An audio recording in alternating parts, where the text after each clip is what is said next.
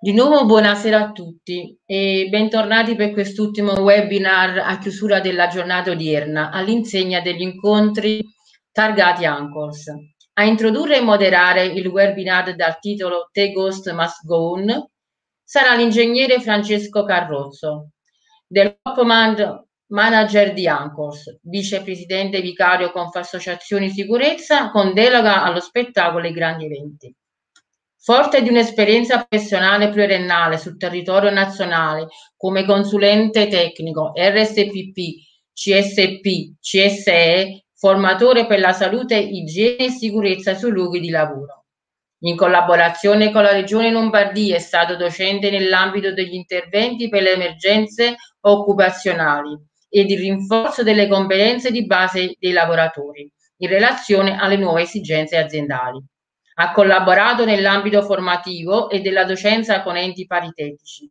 Altresì ha collaborato in fase di progettazione ed esecuzione per grandi cantieri di supporto emergenziale. Dal 2019 diventa Development uh, Manager, consulente tecnico e formatore aziendale per l'impiego, uh, per l'impiego di macchine, nonché responsabile assistenza sedi per ANCOS, Associazione Nazionale Consulenti e responsabile sicurezza sul lavoro. Banda una pluriannale esperienza come consulente tecnico e coordinatore della sicurezza in fase di progettazione ed esecuzioni lavori per cantieri di allestimento e disallestimento aree, per grandi eventi di pubblico spettacolo per diversi artisti nazionali ed internazionali, convegni, eventi di rilievo nazionali ed eventi fieristici, manifestazioni pubbliche e corporate, eh, festival nazionali ed internazionali. Ricordando a tutti gli utenti che possono inoltrare domande ai relatori inviando una email a webinar-anchors.eu. Auguro a tutti buon lavoro e un buon proseguimento. Do la parola all'ingegnere Francesco Carrozzo.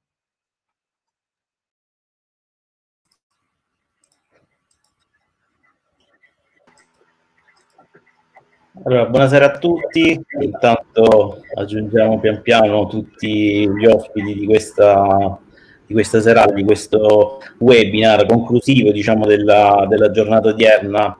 Eh, ringrazio ovviamente la direttrice didattica Paola Mirante di Anchors e ovviamente eh, un saluto diciamo, a tutti i presenti, poi mh, presenteremo pian piano con i loro interventi.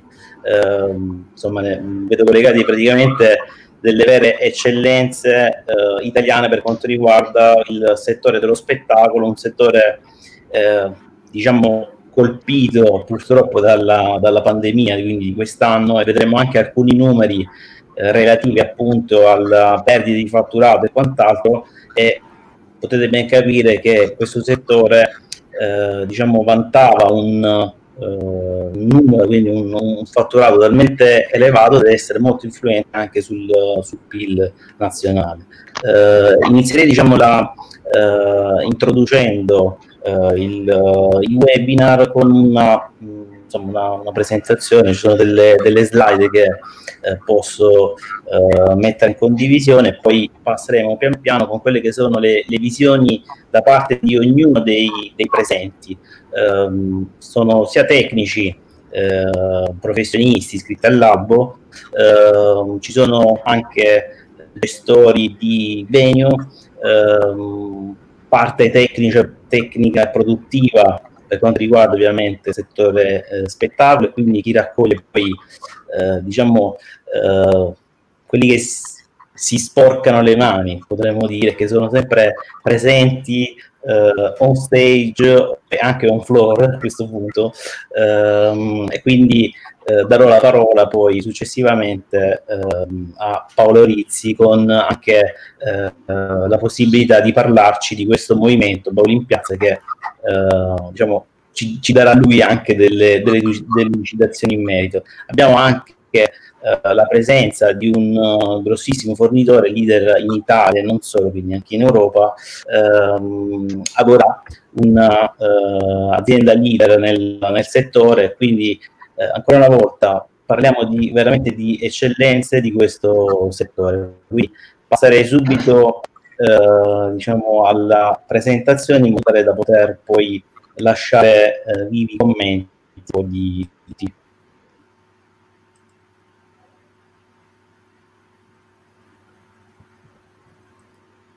Vado? Un secondo, faccio, introduco la presentazione e poi ti lascio la parola a Paolo.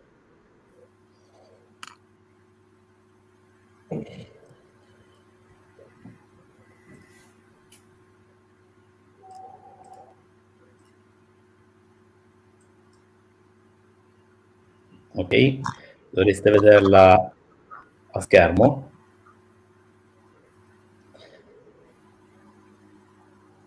Allora, diciamo che partirei con questa frase. La gente è il più grande spettacolo del mondo e non si paga il biglietto. Beh, effettivamente in questo momento, a parte che il biglietto non sta pagando nessuno perché gli spettacoli sono fermi, sono stati pagati magari eh, in precedenza, prima del, dell'inizio insomma, di, questa, di questa pandemia. Però effettivamente il punto iniziale, quindi da, tu, da, cui, da cui partire, se non c'è lo spettatore probabilmente non c'è lo spettacolo, comunque si, si dovrà pensare ad uno spettacolo eh, sicuramente differente da quello che è stato finora.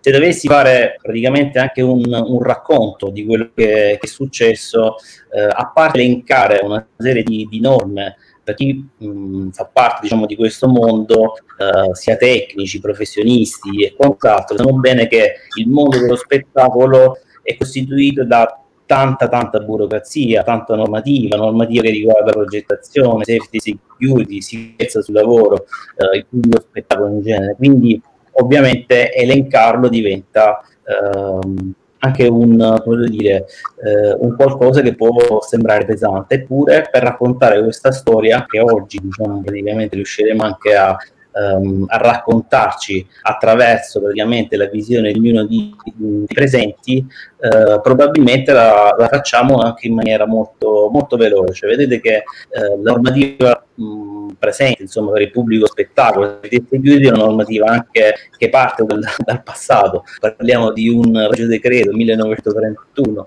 qui si dipana ovviamente con una serie di decreti circolari ministeriali, vedete sì, c'è una, una, candela che significa comincia diciamo, a, ad accendersi praticamente qualcosa perché? Perché si mette ehm, diciamo, inizialmente eh, a cuocere qualcosa. E infatti che cosa succede? Succede che tutte le varie direttive, le varie circolari eh, ministeriali, eh, ricordiamo la circolare Gabrielli, ha tendenzialmente anche segnato diciamo, una eh, profonda ehm, diciamo, variazione del, del, concetto del pubblico spettacolo rispetto al passato, in particolar modo per quanto riguarda appunto la gestione dei livelli di sicurezza all'interno delle manifestazioni. Poi anche la sicurezza sul lavoro ha cominciato diciamo, a, ad appesantire il, il, settore e quindi una normativa che magari se la dobbiamo elencare tutta è una normativa anche piuttosto vecchiotta.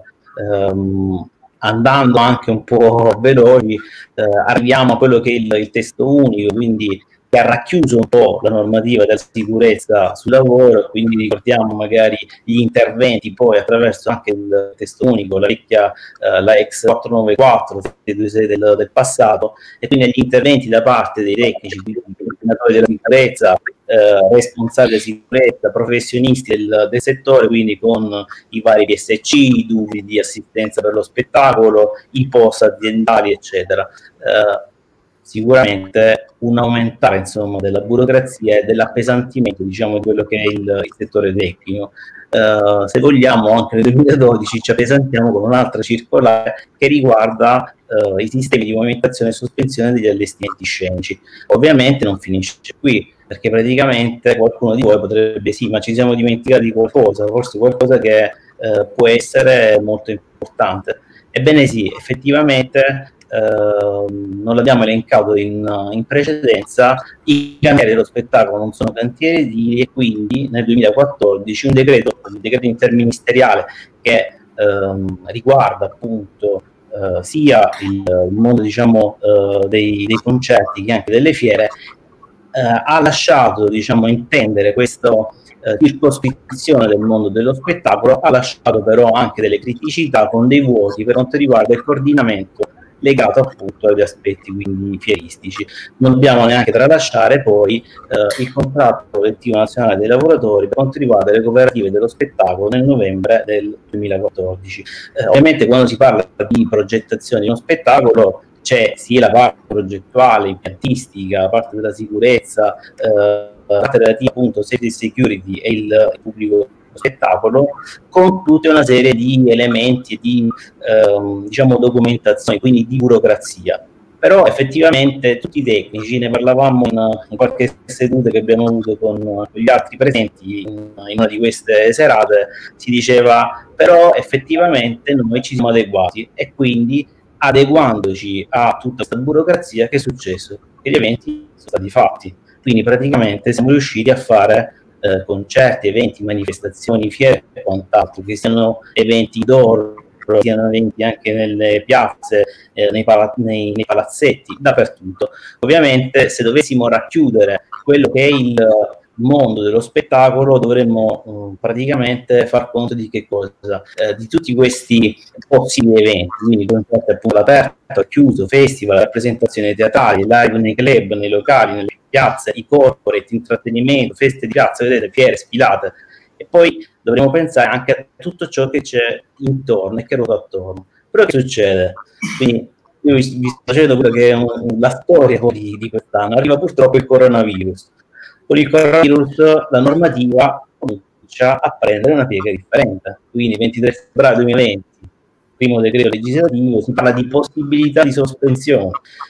Poi una serie di DPCM i PCM che tendono a diciamo, indicare, a segnare la strada verso quella che poi è effettivamente una sospensione che arriverà di lì a breve. E quindi nell'8 marzo, diciamo con il PCM dell'8 marzo, vedete, indipendentemente da quelli che erano i ehm, diciamo, gli aspetti, i requisiti, la distanza interpersonale, si parla appunto di sospensione, praticamente estendendo appunto il territorio nazionale per quanto riguarda appunto queste misure previste dai vecchi DPCM. Praticamente lockdown, siamo tutti fermi, ci fermiamo fermo il mondo dello spettacolo. Attenzione che in questo periodo nascono idee anche per ripartire e quindi c'è chi pensa a fare concerti stile drive-in, c'è chi pensa di montare ovviamente dei pit, delle pedane, qualcosa che possa diciamo, aiutare anche al distanziamento, ad evitare praticamente e contenere il contagio.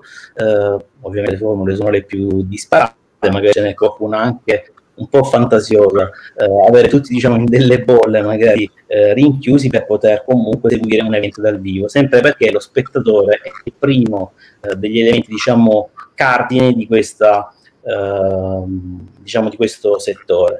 Effettivamente continuano poi i decreti e quindi le varie limitazioni, le varie sospensioni, quindi eh, per poter vedere un barlume diciamo di, di, speranza, ecco, bisogna aspettare quando? Bisogna aspettare praticamente eh, giugno, giugno per poter poi ripartire, perché in realtà Uh, vedete, in realtà ci sono delle, delle, disposizioni che facevano pensare ad una possibile apertura con i DPC del 17 maggio, vedete, comincia praticamente anche la possibilità diciamo, di eh, confermare anche limitare alcune eh, praticamente sospensioni in base sempre tenendo presente ehm, le modalità di fruizione diciamo anche contingentata all'interno dei luoghi di pubblico spettacolo. Come dicevo prima, con il DPCM dell'11 giugno, vedete, si hanno poi, si ha la possibilità di ripartire, ma delle restrizioni.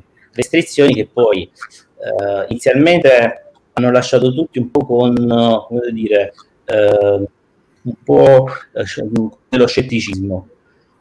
Probabilmente oggi con la visione che vedremo anche da parte dei, dei tecnici presenti, eh, quelle restrizioni, magari allargare un po' quelle maglie, potrebbero significare comunque eh, lasciare diciamo, la possibilità, l'opportunità anche a tanti lavoratori di poter effettivamente portare qualcosa a casa, perché si parla di questo. Ovviamente dobbiamo tener conto anche di che cosa, ordinanze regionali, quello era quanto riguardava diciamo, uh, la gestione della, del, del, pubblico. C'è da considerare anche la questione sicurezza sul lavoro e quindi anche in questo caso i protocolli condivisi con tutta una serie di gestioni, temperature, gestione fornitori, eh, gestione dei contagi aziendali, comitati Covid, tutto quello che c'era da aggiornare all'interno delle aziende. Quindi si riparte, beh, si potrebbe ripartire, c'è un DPCM addirittura del 7 agosto, vedete la normativa era praticamente eh, una addossata all'altra, c'era eh, un, un, continuo praticamente cambiare della normativa presente appunto nel, eh, all'interno diciamo di, questo, eh, di questa pandemia. Attenzione perché appunto ehm, restavano sospesi ancora ad esempio eh, alcuni eventi che implicavano appunto assembramenti altri DPCM che si sono susseguiti praticamente 15 ottobre, 24 ottobre, vedete, con la sospensione degli eventi. Cioè, se prima abbiamo eh, praticamente ehm, siamo, abbiamo provveduto a eh, sopportare, supportare e anche a gestire quella che era una normativa che è cambiata così velocemente, ci è stata data la possibilità di ripartire. A un certo punto, quando si era lì pronti, quindi ci eravamo preparati con questi nuovi protocolli, cosa succede? C'è il nuovo stop. Praticamente era una falsa ripartenza fermati praticamente prima ancora di, di iniziare. E, e, questa è storia recente con il PCM, vedete, con, con delle eh, sospensioni praticamente eh, totali eh, per quanto riguarda eh, gli eventi. Quindi nasce spontanea diciamo, una, una, domanda, perché fermare lo spettacolo dal vivo se è un luogo sicuro?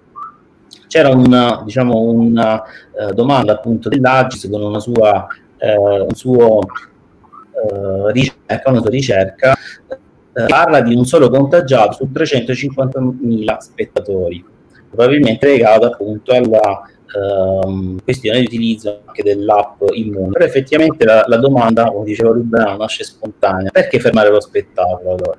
Se è un posto sicuro, se è un luogo sicuro.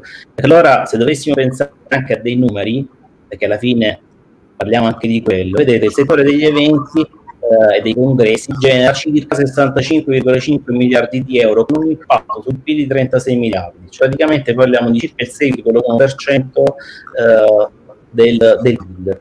Praticamente chi lavora in questo settore sì, qui sono riportati 1,5 milioni di persone, attenzione, quelli della musica sono 569 mila, poi bisogna analizzare bene comunque i numeri, però significa avere anche un potere economico di un certo tipo. Nel 2019 addirittura si parlava di una ripresa economica della musica, un periodo d'ora, addirittura circa il 3% di aumento rispetto al 2018 e quindi si prevedeva un 2020 fantastico.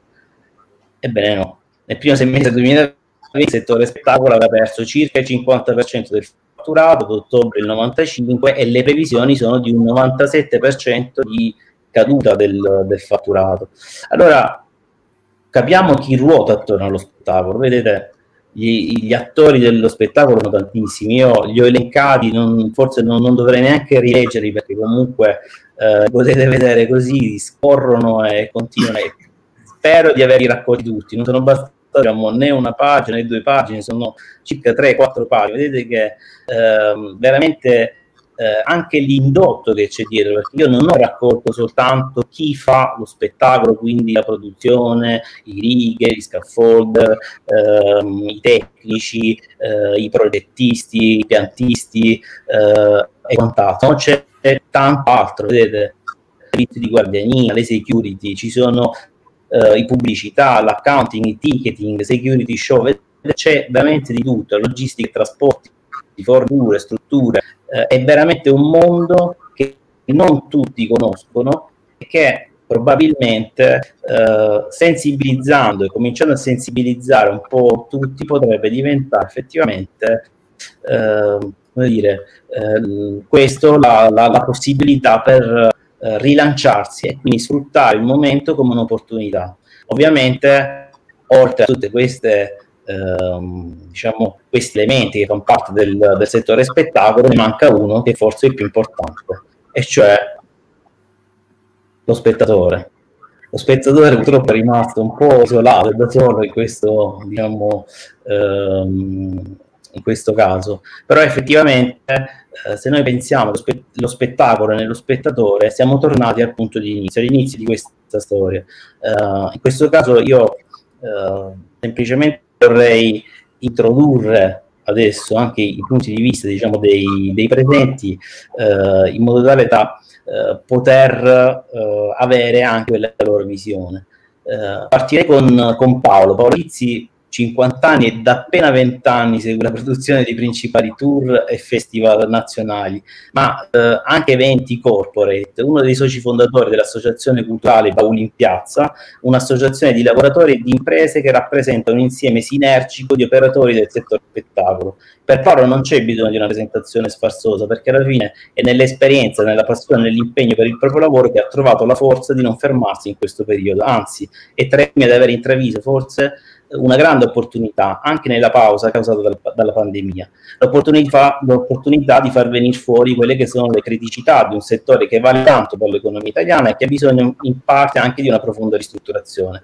Lui sarà colui che ci indicherà in parte la visione odierna del mondo operativo dello spettacolo, la visione appunto da parte di, di chi si sporca le mani, come vi dicevo prima, perché sempre sul campo, non solo dietro di una scrivania, perché la produzione è anche e soprattutto floor, come vi dicevo, prima che stage, e parterre prima che palco. La sua è la visione di chi va in giro per l'Italia all'estero e fa l'impossibile affinché lo spettacolo si faccia sempre e comunque. Entusiasmo, forza e dignità di non si arrende, mostrando la giusta intelligenza anche per valutare analiticamente lo status generale del mondo spettacolo.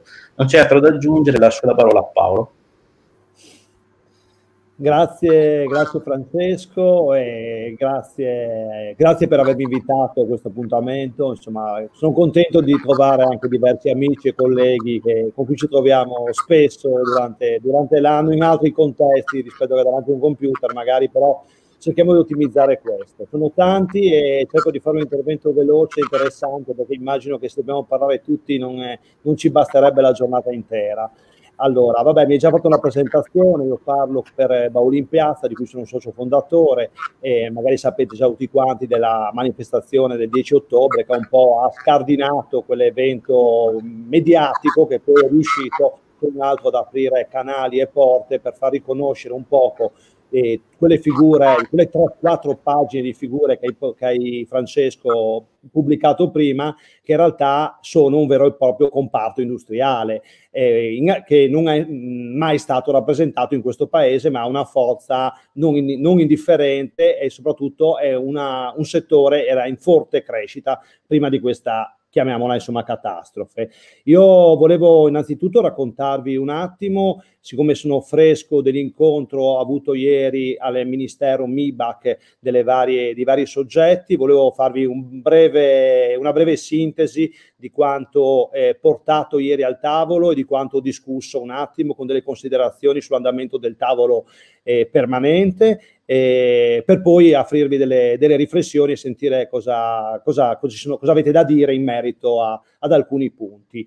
E, ehm, alle, al tavolo del MIBAC ieri erano presenti 83 sigle che possono sembrare un numero molto molto cospicuo di soggetti, però c'è appunto da fare un'analisi per cui eh, innanzitutto questi, questi, soggetti non avranno mai trovato una, una convergenza prima nelle, nelle loro, nel, nel, loro lavoro e quindi ognuno, anche noi stessi, quando lavoriamo, eh, lavoriamo, non è che abbiamo tempo molto di stare a fare analisi, confronti e vi dicendo. Quindi eh, siamo partiti subito dal dire che nella sfortuna di questa situazione epidemiologica cerchiamo di trovare il lato positivo. Il lato positivo è questo, è il lato che molti professionisti, molti lavoratori, lavoratori e, e molte imprese e soggetti in questo momento di fermo si parlano, analizzano delle situazioni, si confrontano, si discutano, litigano, come capita costantemente anche nelle, nelle, buone famiglie, trovano dei punti di convergenza e probabilmente delle soluzioni per riuscire a, a, a vedere la situazione in una maniera, in, in un modo positivo.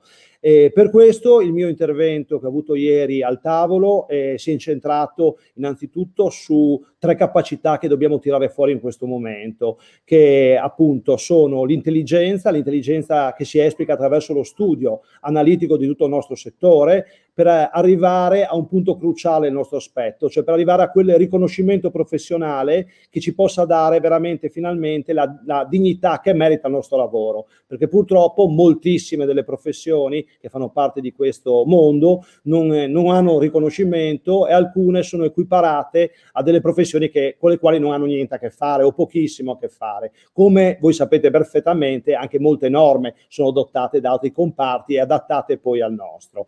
Eh, ci vuole però anche dell'entusiasmo in questo momento e, e l'entusiasmo eh, l'ho visto e lo vediamo, lo vediamo ogni giorno dal, dal, nascere di tutte queste associazioni. 83 sono una, un'enormità di sigle, di norme, però in realtà sono anche una ricchezza, perché riuscire ad avere un unico tavolo, un unico di, un argomento di discussione e vedere tutti questi movimenti di, um, di, tanti soggetti diversi per professioni e per competenze, che però col massimo rispetto, e mi ha impressionato moltissimo il fatto che c'era la scadenza di venerdì scorso alle 18 per la consegna dei documenti da portare al tavolo e sembrava un po' come se ci fossero i compitini per casa della classe degli, delle, delle, delle ricerche che tutti quanti facessero per sforzarsi alla fine di riuscire a trovare sintesi e consegnare queste cose entro le ore 18 e vedere questi documenti consegnati dalle 17.44 alle 17.59 da parte di 30 soggetti, i quali si scrivevano in chat, si telefonavano, si confrontavano, si mandavano documenti,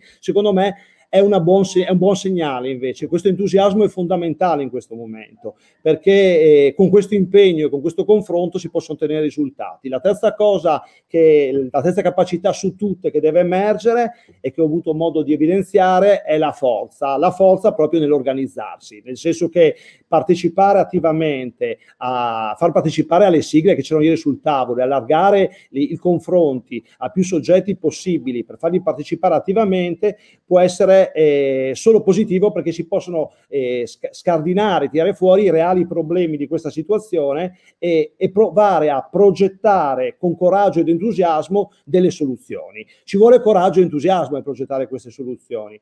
Eh, ci vuole coraggio e ci vuole coraggio per, per, per identificare il, i lavoratori professionisti di questo settore, che come dicevo prima devono avere un riconoscimento e non devono essere dimenticati da nessuno, non devono dimenticarsi perché non ci si può dimenticare di chi l'arte la costruisce eh, perché altrimenti eh, un giorno rischiamo di cancellare tutte queste immagini che potremmo avere nella nostra vita futura. Quindi noi, per esempio, con Bauli in Piazza, e volevo anche rilanciare questa nostra iniziativa nuova, abbiamo presentato l'altro ieri a Milano, lo faremo in altre, per adesso, 4 o 5 piazze in giro per l'Italia, il famoso albero di bauli. Abbiamo avuto una rappresentazione di questo albero di Natale fatto con 60 bauli, che poi sono i famosi fly case, che sono quelli, i contenitori del nostro sapere, quello che ogni che ogni professionista conosce bene nel nostro settore e, e dentro sa le cose sue o, e sa perfettamente che ognuno è ben geloso delle cose dei suoi strumenti del lavoro. Bene, su questi alberi, eh, in, primo inaugurato a Milano, adesso faremo, stiamo facendo, partiremo Roma il 15,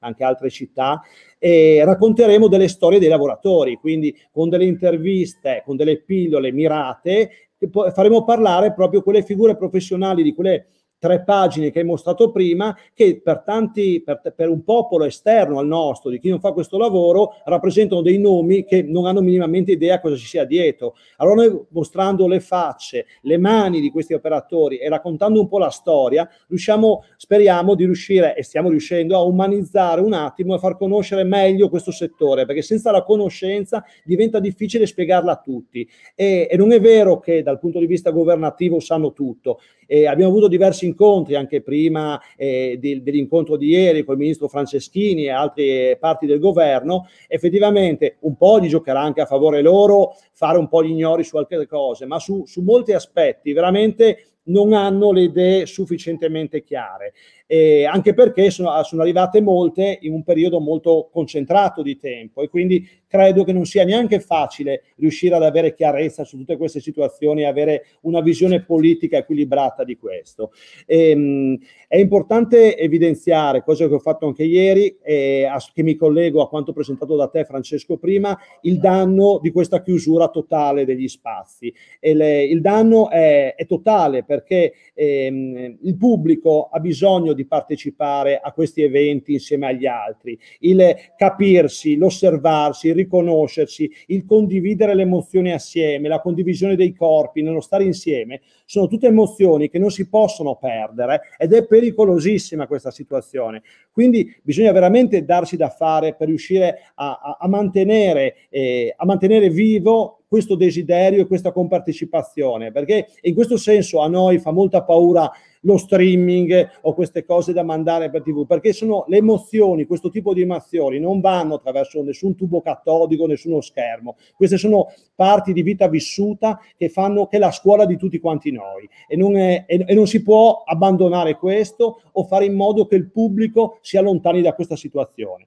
Quindi bisogna veramente pensare a qualcosa di importante da creare. Per questo Bauli in Piazza, assieme ad Asso Musica, eh, assieme a FEDAS, che è la società dei service, assieme a Squadra Live, che è un altro gruppo di tecnici che si operano specificatamente nel mondo delle, delle, della musica dal vivo, e assieme a Chiamate Noi, che è un altro gruppo sempre che si è venuto a creare in questo momento per far fronte all'assenza di lavoro di questi tecnici, perché la problematica centrale è dovuta a una perdita di professionalità, nel senso che il fermo, il blocco totale, oltre a disabituare il pubblico a stare insieme, insieme, allontana le, le professionalità da questo mondo. E questa è una cosa molto pericolosa perché l'Italia è famosa sia in, sia in tutto il mondo per, essere, per offrire dei tecnici e dei servizi tecnici di alta qualità. Non è una scoperta di oggi che le maggiori inaugurazioni mondiali dei giochi olimpici, delle, delle manifestazioni più importanti vengono fatte da ditte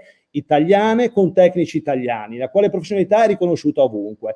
In Italia, soprattutto nei periodi estivi dove c'è un, un, la, il picco dei lavori, i, i, lavoratori e gli impianti strutturali sono veramente notevoli e la paura eh, fondamentale, fondamentalmente nostra è che se c'è un lungo stop tante di queste figure professionali specializzate troveranno altri impieghi. Solo nell'ambito delle strutture vi segnalo che già il 40% degli SCAF ha cambiato lavoro ed è una sola delle categorie. Oggi abbiamo fatto un incontro con i rigger e anche loro stanno facendo altre cose e non è così automatico che nel momento in cui ripartiranno i lavori normalmente queste persone torneranno indietro e saranno recuperabili. Questo sta a significare che di quanto una multinazionale può venirci a dire che riprenderà la lavorare solo quando riprenderanno gli stadi, se gli stadi riprenderanno dall'oggi al domani, non ci saranno le professionalità per poterli realizzare gli stadi. E questa è la lungimiranza con quale tutti quanti noi dobbiamo portare ad andare avanti in questa direzione.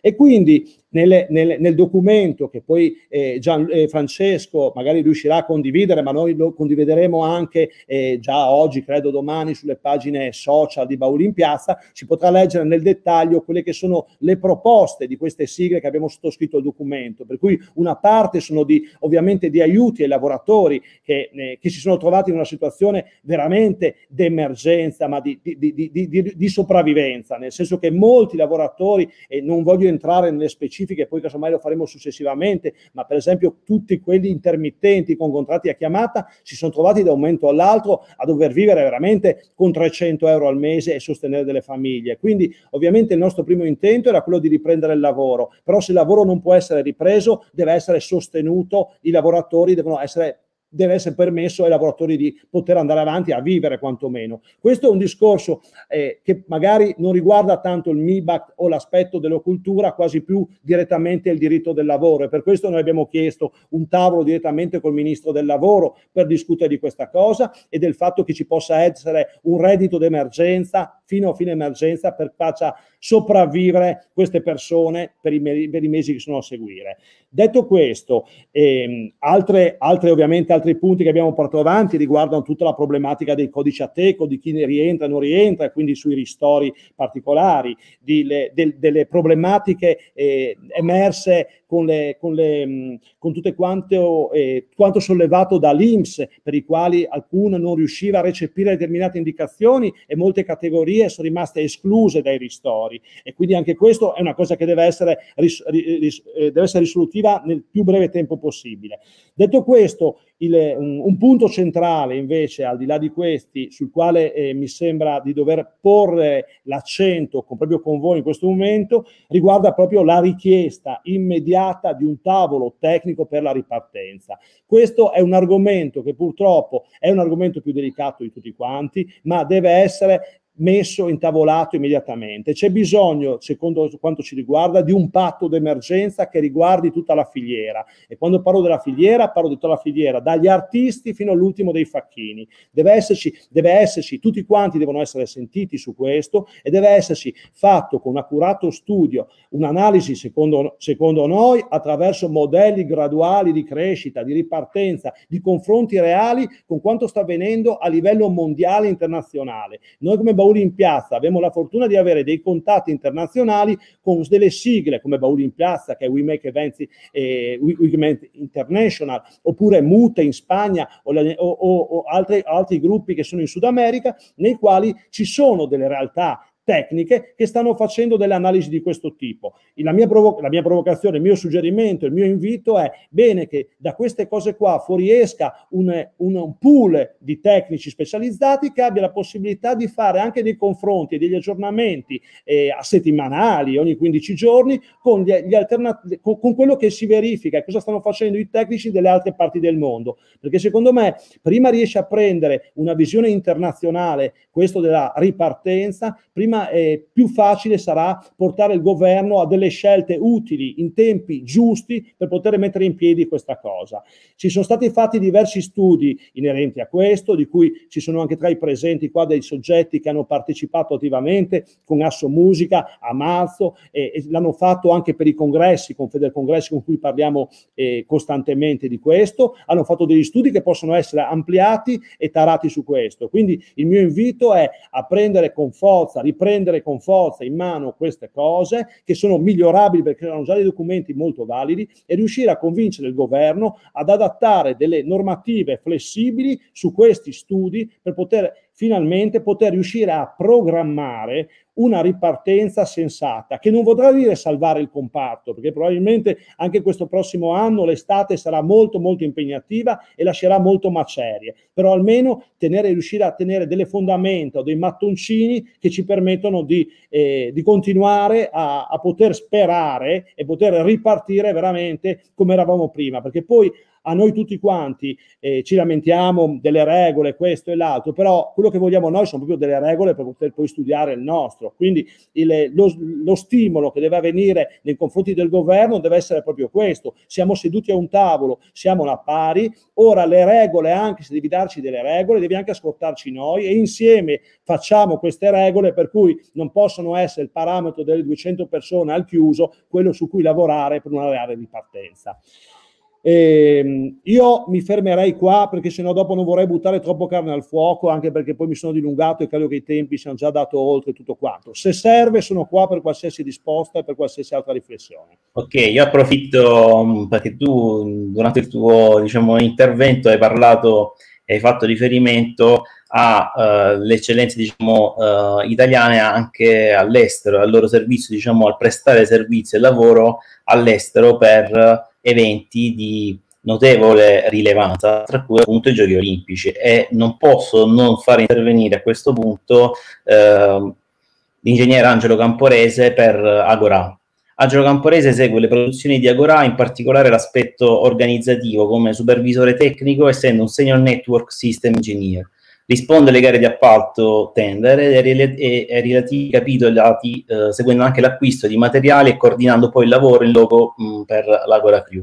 Agora, eh, inutile dirlo, è un'azienda leader in Italia per il noleggio, la fornitura e l'installazione di sistemi impianti audio, luci, video, richieraggio, strutture e set decorator per la realizzazione di ogni tipo di evento musicale, aziendale, sportivo e di massa, stata fondata nel 1990 dai fratelli Wolfango e Vittorio Di Amicis attraverso una grande attenzione verso il cliente e la capacità di personalizzare poi e fornire un prodotto di alta qualità, cresce rapidamente nella forma e nella struttura, fino a diventare oggi un'azienda leader in Italia e tra le più grandi d'Europa, sempre al top in forniture di ultima generazione, vanta praticamente il supporto in termini tecnici e di materiali per almeno l'85% degli eventi musicali sportivi italiani, nonché corporate anche di rilevanza nazionale. È leader anche all'estero con collaborazioni appunto per eventi di caratura internazionale, per fare un esempio, l'ha già detto Paolo, eh, con gli eventi eh, olimpici. Praticamente abbiamo l'onore di ascoltare anche l'intervento di chi contribuisce poi attivamente, materialmente e tecnicamente alla realizzazione dello spettacolo.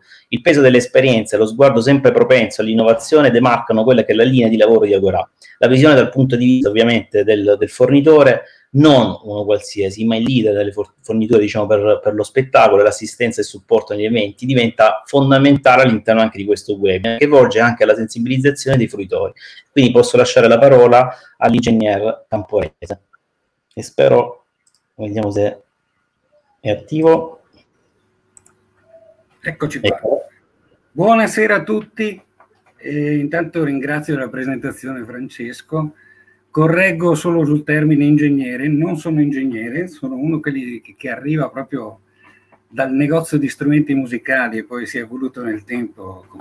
Ringrazio Paolo per tutto quello che ha detto in merito a quello che si sta facendo, la percezione. Io andrei però un attimo indietro per fare il punto su come lavoriamo, per chi lavoriamo noi e dopo tutte quelle che vengono a seguire, tutte le professionalità che vengono a seguire.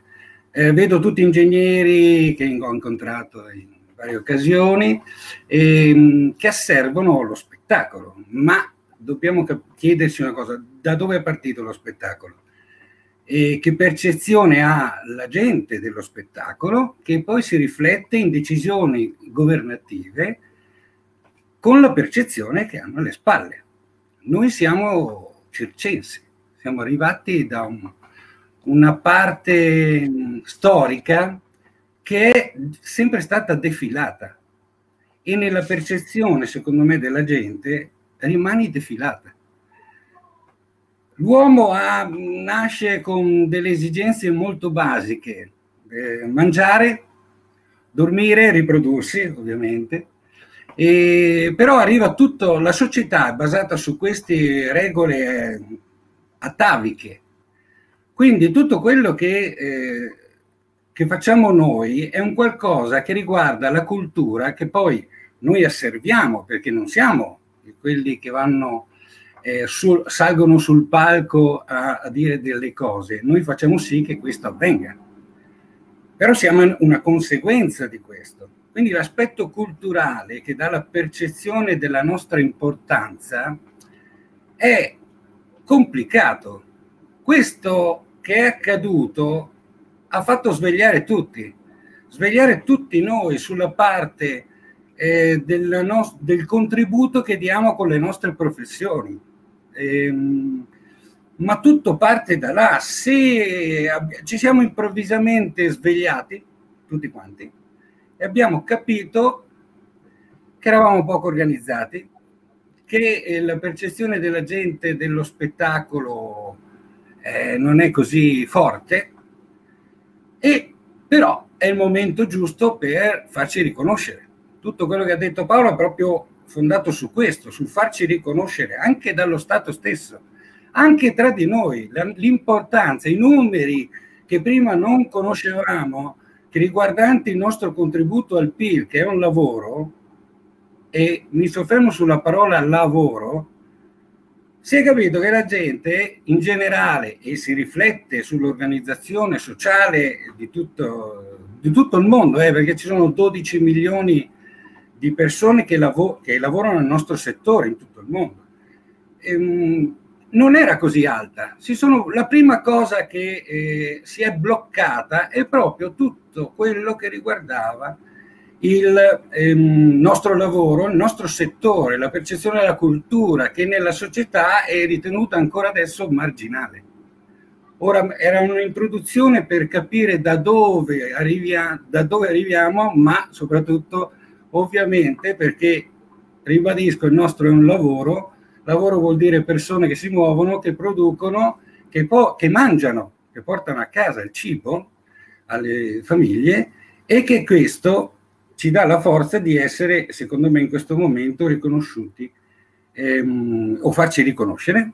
Eh, cioè, sono nate come i funghi tutte le associazioni da 10 persone a 20 a 100 per fortuna adesso si comincia no? Eh, ci siamo trovati tutti in bauli in piazza è stato un grandissimo aumento per eh, riunire tutte queste professionalità e far vedere che la cultura è anche un lavoro è un qualcosa che contribuisce al PIL in maniera importante, quindi la società deve tener conto di questo. In Italia soprattutto, dove eh, tra cultura, e musei, teatri, abbiamo lo storico del mondo in merito anche alla creazione di tutta una serie di cose, con orgoglio eh, lo portiamo avanti, ma adesso andremo a vedere eh, come affrontare questa cosa qua, perché non si risolve.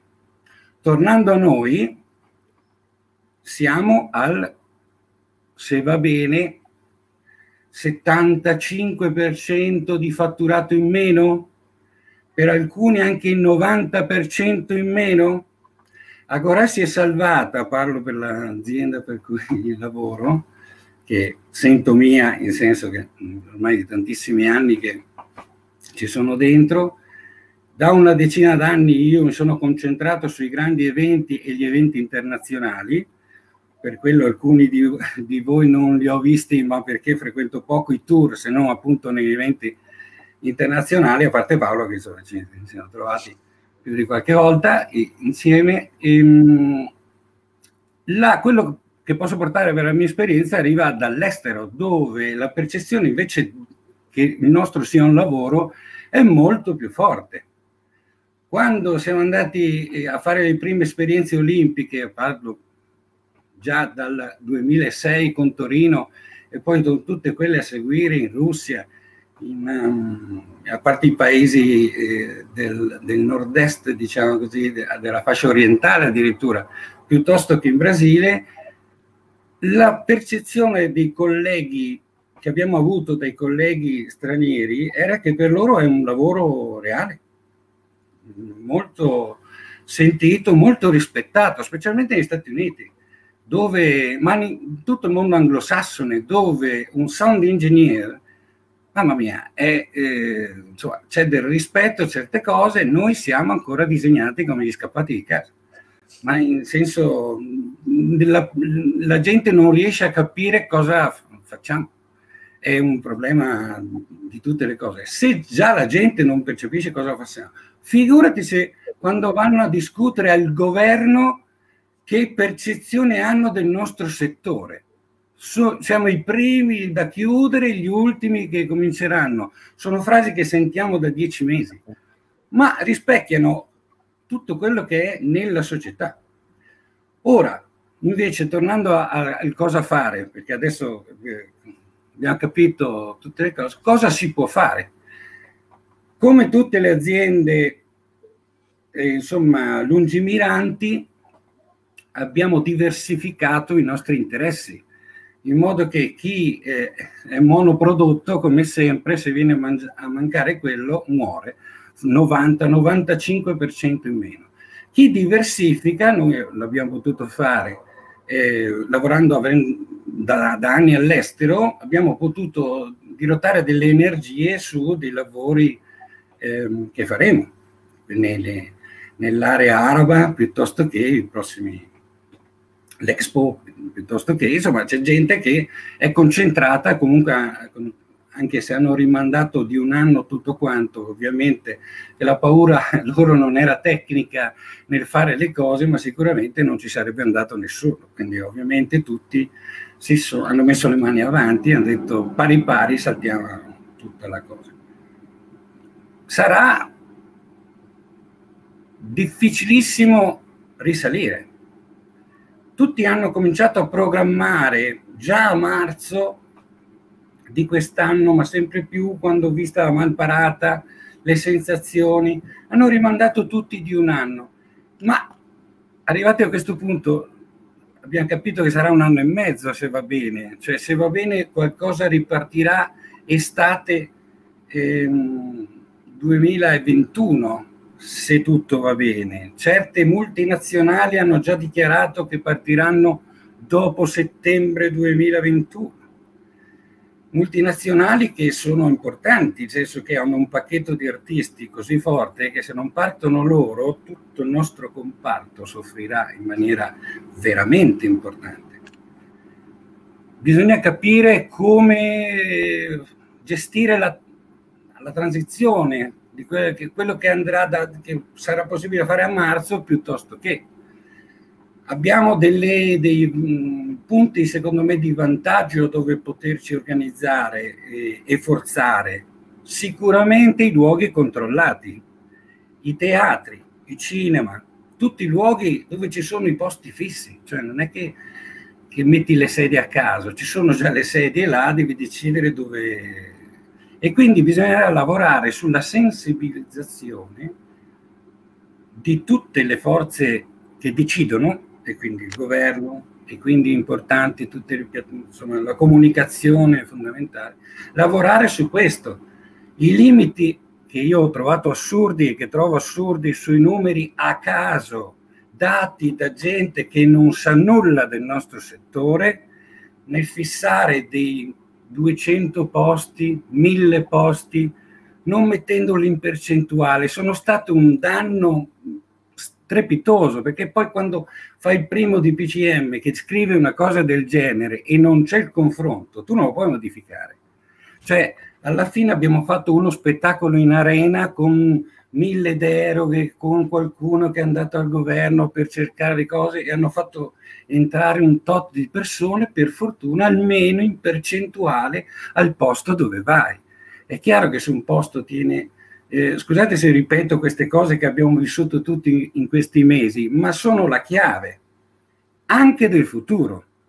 Se, ad esempio, noi lavoriamo in auditorium a Roma, ci sono tre sale, una da 700, una da 1200, una da 2800 posti e lo scemo, perché lo devo dire così, che ha scritto 200 posti al chiuso, è uno che ha scritto delle cose a caso, non sapendo, non organizzando, non percependo l'importanza dei lavoratori che erano dietro a questo, ma declassando con una firma tutto il settore, ritenendolo non importante. È questo il problema. Finché non combattiamo questa percezione, finché non portiamo i numeri, cosa che sta accadendo con i tavoli di discussione aperta, troveremo gente che mm, non appoggia. Devo dire che il ministro Franceschini è, uso parole forti, è, però è un, è un incapace, cioè è uno che non ha coscienza del settore che, che dirige. Gli è stato detto una cosa non approfondito e solo, solo negli ultimi, forse nell'ultimo mese, ha percepito qualcosa e ha cominciato a fare qualcosa dopo dieci mesi. Dopo, è, è, una, è una tragedia. Se uno va a vedere i numeri è una tragedia. 600.000 persone.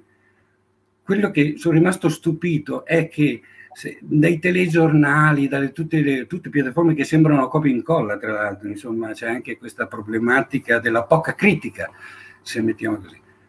Dove dicono che ci sono 300.000 persone che devono ritornare al lavoro dimenticando completamente gli 600.000 che sono fermi. Noi, cioè in senso generale. È un problema serio, la non percezione.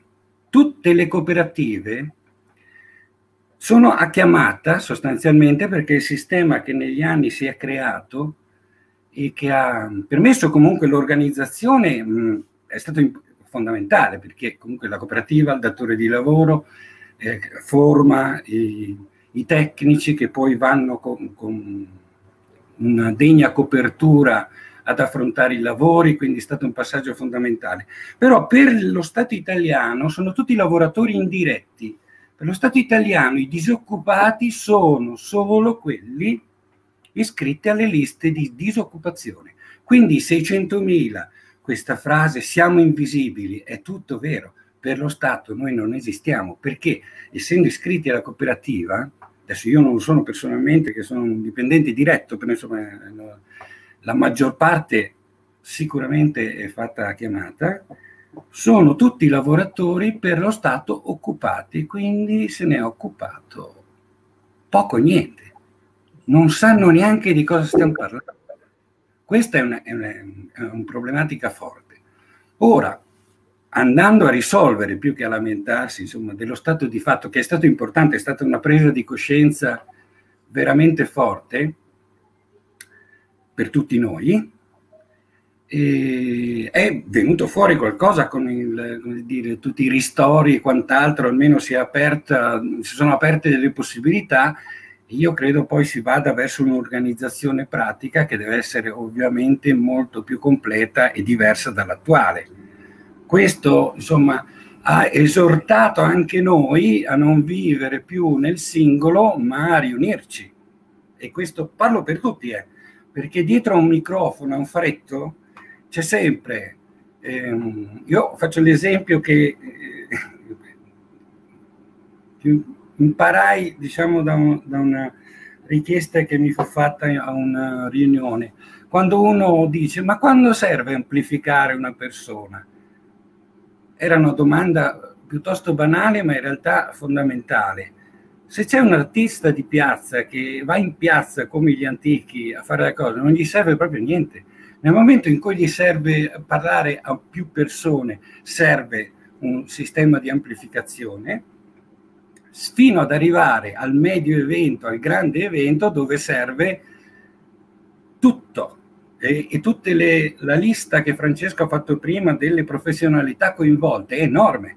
Anche l'ingegnere strutturale, ovviamente, chi produce gli oggetti, chi li fa funzionare, tutto quello che serve lo spettacolo è una massa di gente di professionalità fortissime che erano invisibili, adesso sono saltate fuori, per fortuna. Detto ciò, i due, ehm, ele, credo e poi chiudo, i due elementi chiave su, su, cui lavorare sono la sicurezza delle persone, e qui insomma siamo in presenza di, del meglio del meglio, che riguarda i lavoratori, cioè che lavorano in sicurezza, però Così, a percezione io lo considero già una cosa piuttosto o comunque abbastanza facile da affrontare, nel senso che sei presenza di tante persone preparate allo spettacolo, a parte gli scappati di casa o al nero di cui qualcuno faceva riferimento prima, cioè quelli preparati comunque sono persone che possono gestire tutto sommato poche, riescono a, a gestire abbastanza bene la sicurezza, specialmente negli ultimi anni. Ricordo, io sono partito nell'87 a fare questo lavoro ufficialmente e, e non c'era nulla, nulla che riguardasse la sicurezza. Ci siamo inventati noi la sicurezza su certi posti, fino ad arrivare a un'organizzazione negli anni, poi con tutte le varie leggi che sono state anche citate in sequenza, arrivare comunque a un'organizzazione che permette una sicurezza importante e interessante. Più che altro, come faceva presente Francesco prima anche Paolo, la gente, è la gente che va a vedere lo spettacolo. Se non portiamo la gente, non succede nulla.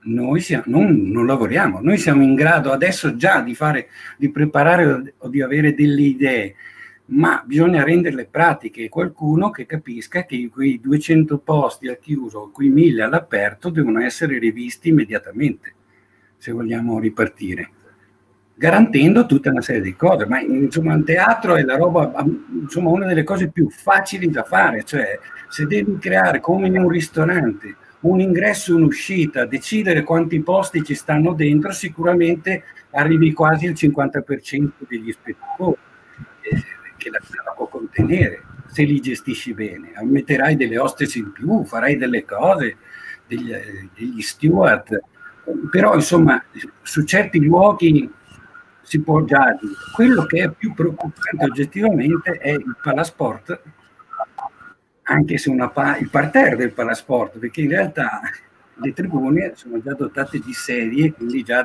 da limitazioni di un certo per quello riguarda gli stadi è veramente più un, un po' complesso, gli spazi aperti sono veramente importanti. Parlavo l'altro giorno con l'ingegner Morlini della eh, RCF Arena, no? questa eh, parla di Reggio Emilia quest'area che eh, sono andato a visionare e per cui stiamo lavorando per fare tutta l'infrastruttura eh, di comunicazione, insomma, dentro il network che farà funzionare tutto il sistema, e lì sarà, sono spazi aperti, non sai bene come comportarti. Eh, vaccini, non vaccini, facciamo entrare solo i vaccinati, lì si apre un mondo insomma, complesso per chi potrà fare queste cose, no. Lì è una... più preoccupante. Credo, credo che sia il, diciamo, qualcosa che sicuramente verrà analizzato uh, successivamente, il fatto di poter far rientrare almeno quanta più gente possibile, perché effettivamente bisogna ripartire da lì e approfitto ovviamente del lancio che, che hai già fatto. E... Direi l'ultima cosa riguardo a mm-hmm. questo, che deve anche un aspetto psicologico cambiare la percezione che ha la gente o della sicurezza eh. personale, ho detto, dei genitori con i ragazzi, di qualsiasi cosa, deve cambiare la percezione sicuramente arrivando a una eh, serenità diversa, che adesso è stato seminato cioè, il terrorismo che è stato fatto, perché scusatemi, io lo definisco proprio così, cioè definisco terrorismo la eh, comunicazione non corretta.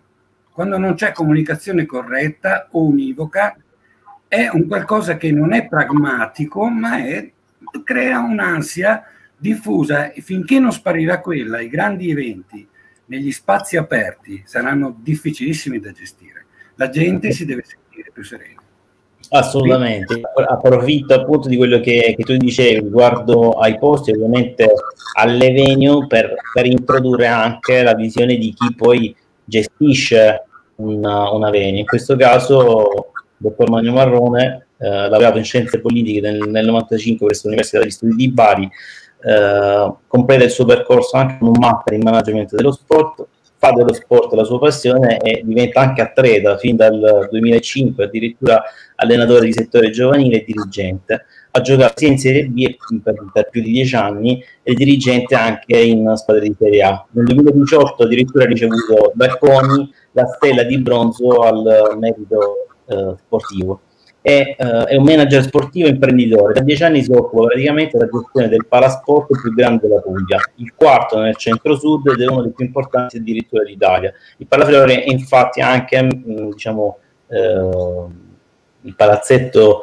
eh, qui penso la maggior parte di voi, diciamo, un passaggio sicuramente l'avrà, l'avrà fatto eh, Mario Marrone è anche amministratore unico appunto dell'Ati Palaflore, è titolare della Manio Marrone Sport Eventi, quindi si occupa sì, dal 2010 ad oggi di che cosa? Di organizzare eventi, campi estivi, sportivi anche per, per bambini, in città, addirittura anche nelle strutture turistiche, campionati mondiali di pallavolo, qualificazioni europee di pallamano e calcio a 5, gestisce ovviamente anche una polisportiva all'interno diciamo, del, ehm, dell'area, quindi della Venue, con più di mille iscritti. Collabora con il CONI del comune di Bari.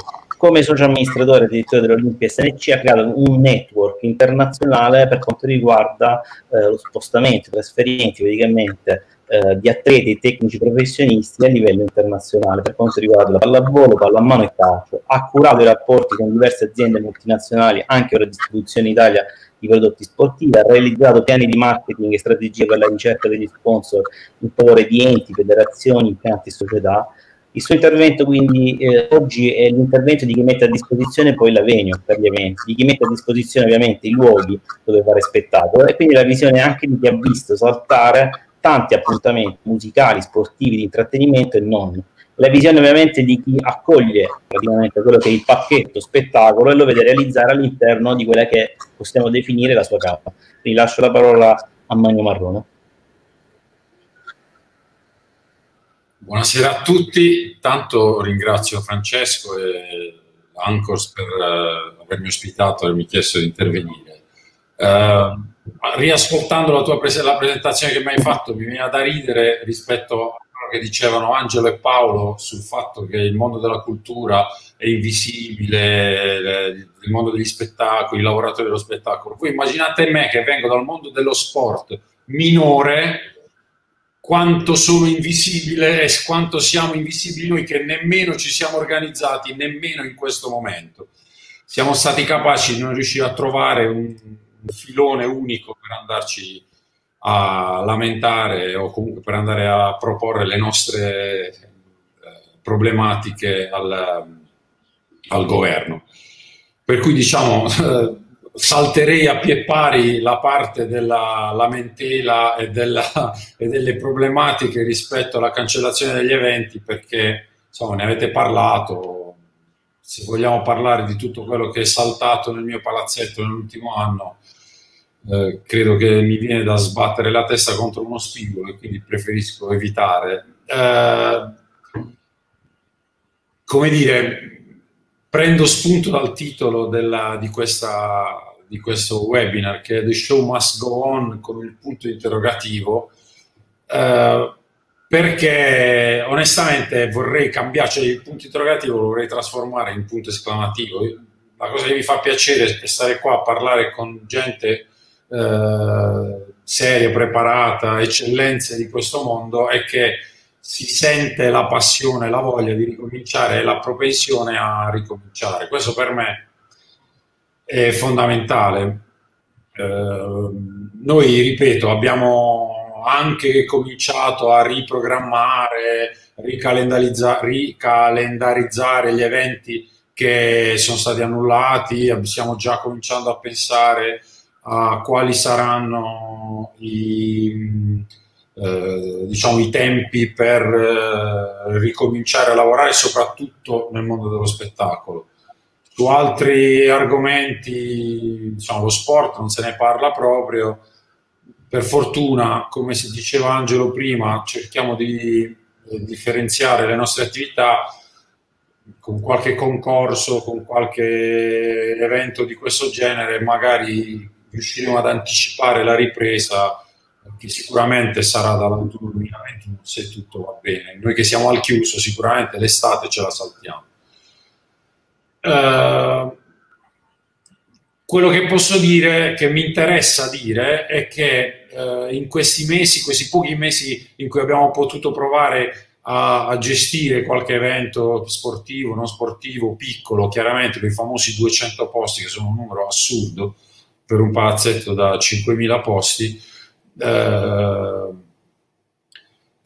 noi siamo pronti, nel senso non abbiamo paura di ricominciare, siamo abbastanza sicuri che eh, saremo in grado di garantire, come abbiamo sempre fatto, la sicurezza dei lavoratori prima di tutto, degli spettatori altrettanto, insomma in parallelo, eh, perché questo l'abbiamo sempre fatto, siamo sempre stati pronti mh, a rispettare tutte le normative che sono, che sono venute fuori anche nel tempo. Diciamo, io sono entrato nel 2010, eh, già c'era la maggior parte delle normative, al, al massimo si è aggiunto l'antiterrorismo, ma per il resto era già tutto già pronto e onestamente siamo stati Uh, siamo stati pronti. Siamo in, ci stiamo provando ad immaginare, parlando dal, da, diciamo, della sicurezza del pubblico, uh, di creare delle app o dei sistemi comunque uh, a distanza per la prenotazione dei biglietti, la prenotazione dei posti, proprio anche proprio l'accesso senza bisogno di biglietti cartacei, per cui per ridurre gli assembramenti, le file, eccetera. Addirittura stiamo pensando mh, alla, alla, parte anche del food and beverage con un bar che funziona tra virgolette a domicilio, cioè non c'è bisogno di andare al punto ristoro, ma con un'app, un'applicazione sarà possibile ordinare e ci saranno dei nostri addetti che porteranno il, ehm, eh, diciamo, l'ordine al posto, visto che i posti sono numerati, quindi anche per dire ad Angelo, noi siamo pronti, siamo già pronti anche su questo, cioè ci stiamo organizzando perché sia, sia possibile tutto questo. Eh, anche a preparare diciamo, un'installazione di sedie o comunque chiara, che chiaramente dovranno essere provvisorie, ma già più o meno pre, predefinite in modo da non creare ogni volta un allestimento nuovo che può diciamo, sconvolgere le situazioni. Eh, noi ci stiamo preparando.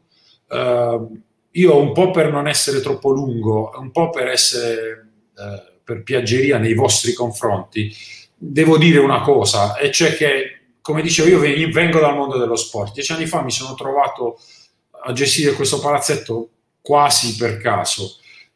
E se c'è una cosa che ho imparato da voi, cioè da voi del mondo dello spettacolo, voi che arrivavate e in mezza giornata ci, ci avete ribaltato il palazzetto ci avete trasformato in un, in, un, in un, posto bellissimo dove ospitare spettacoli fantastici, è che non esistono problemi, ci sono solo soluzioni.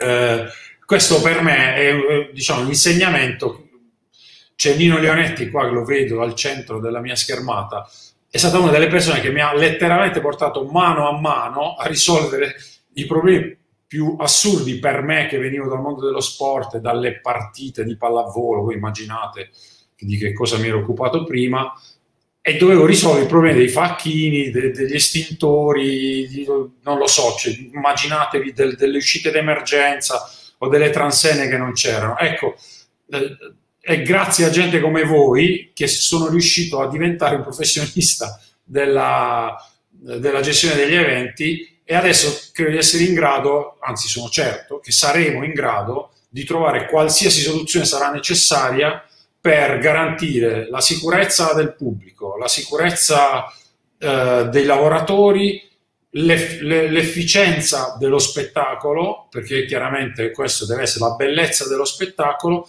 e non ultimo eh, la riuscita economica per tutti dello spettacolo stesso, perché chiaramente eh, le, sicuramente ci saranno normative nuove che prevederanno ulteriori spese, ulteriori interventi economici e di questo ci, in qualche maniera dovremo trovare delle soluzioni tutti insieme perché anche dal punto di vista economico eh, lo show abbia, abbia, successo, non solo dal punto di vista dello, diciamo, del, dell'efficienza delle, delle, strutture o della, della, bellezza dello spettacolo. Ecco, eh, questo è il messaggio che mi sento di dare in un webinar del genere. Togliamo il punto interrogativo, mettiamo il punto esclamativo e confidiamo nelle nostre capacità di risolvere qualsiasi problema e anche quando le normative saranno piuttosto insensate o abbastanza insensate, sono certo che sapremo trovare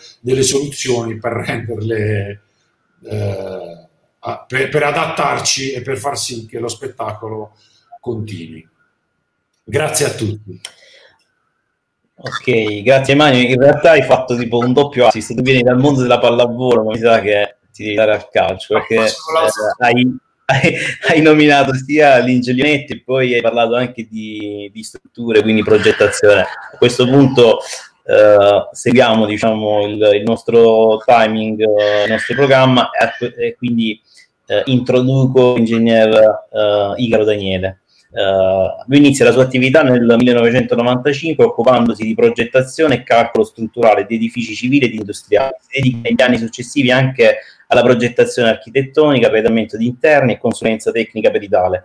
Contestualmente si specializza poi nella, modellazz- nella modellazione strutturale dei eventi finiti di strutture per le costruzioni civili e per il settore meccanico con la progettazione e verifica di elementi metallici e plastici. È appassionato ovviamente fortemente per quello che si definisce ambiente dinamico, sia per quanto riguarda lo studio dell'impatto di fenomeni sismici sulle civili, sulle civili costruzioni, che per gli effetti dinamici indotti da movimentazioni o vibrazioni in genere. Grazie alla dotazione di software di calcolo specifici comincia poi ad effettuare anche l'analisi di elementi e materiali diversi.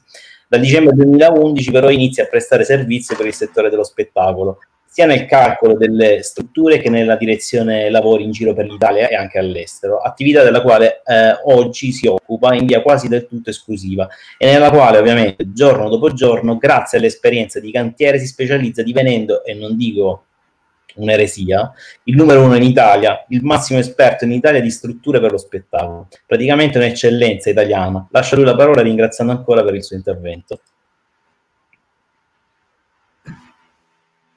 Ciao, un saluto a tutti, ti ringrazio della presentazione, troppo buona, diciamo che eh, cerchiamo di darci da fare insieme ai nostri colleghi e miei colleghi per eh, rendere questo eh, mondo di per sé così bello anche il più possibile sicuro.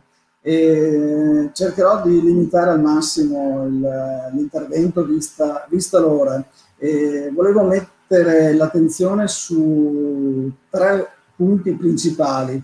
In questi giorni, grazie anche a Bologna in Piazza, con, in Piazza con il quale collaboro con Paolo, ho avuto modo di fare una specie, diciamo così, di intervista, di un, cercare dei numeri dei nostri eh, colleghi architetti, geometri, ingegneri, periti che seguono questo mondo.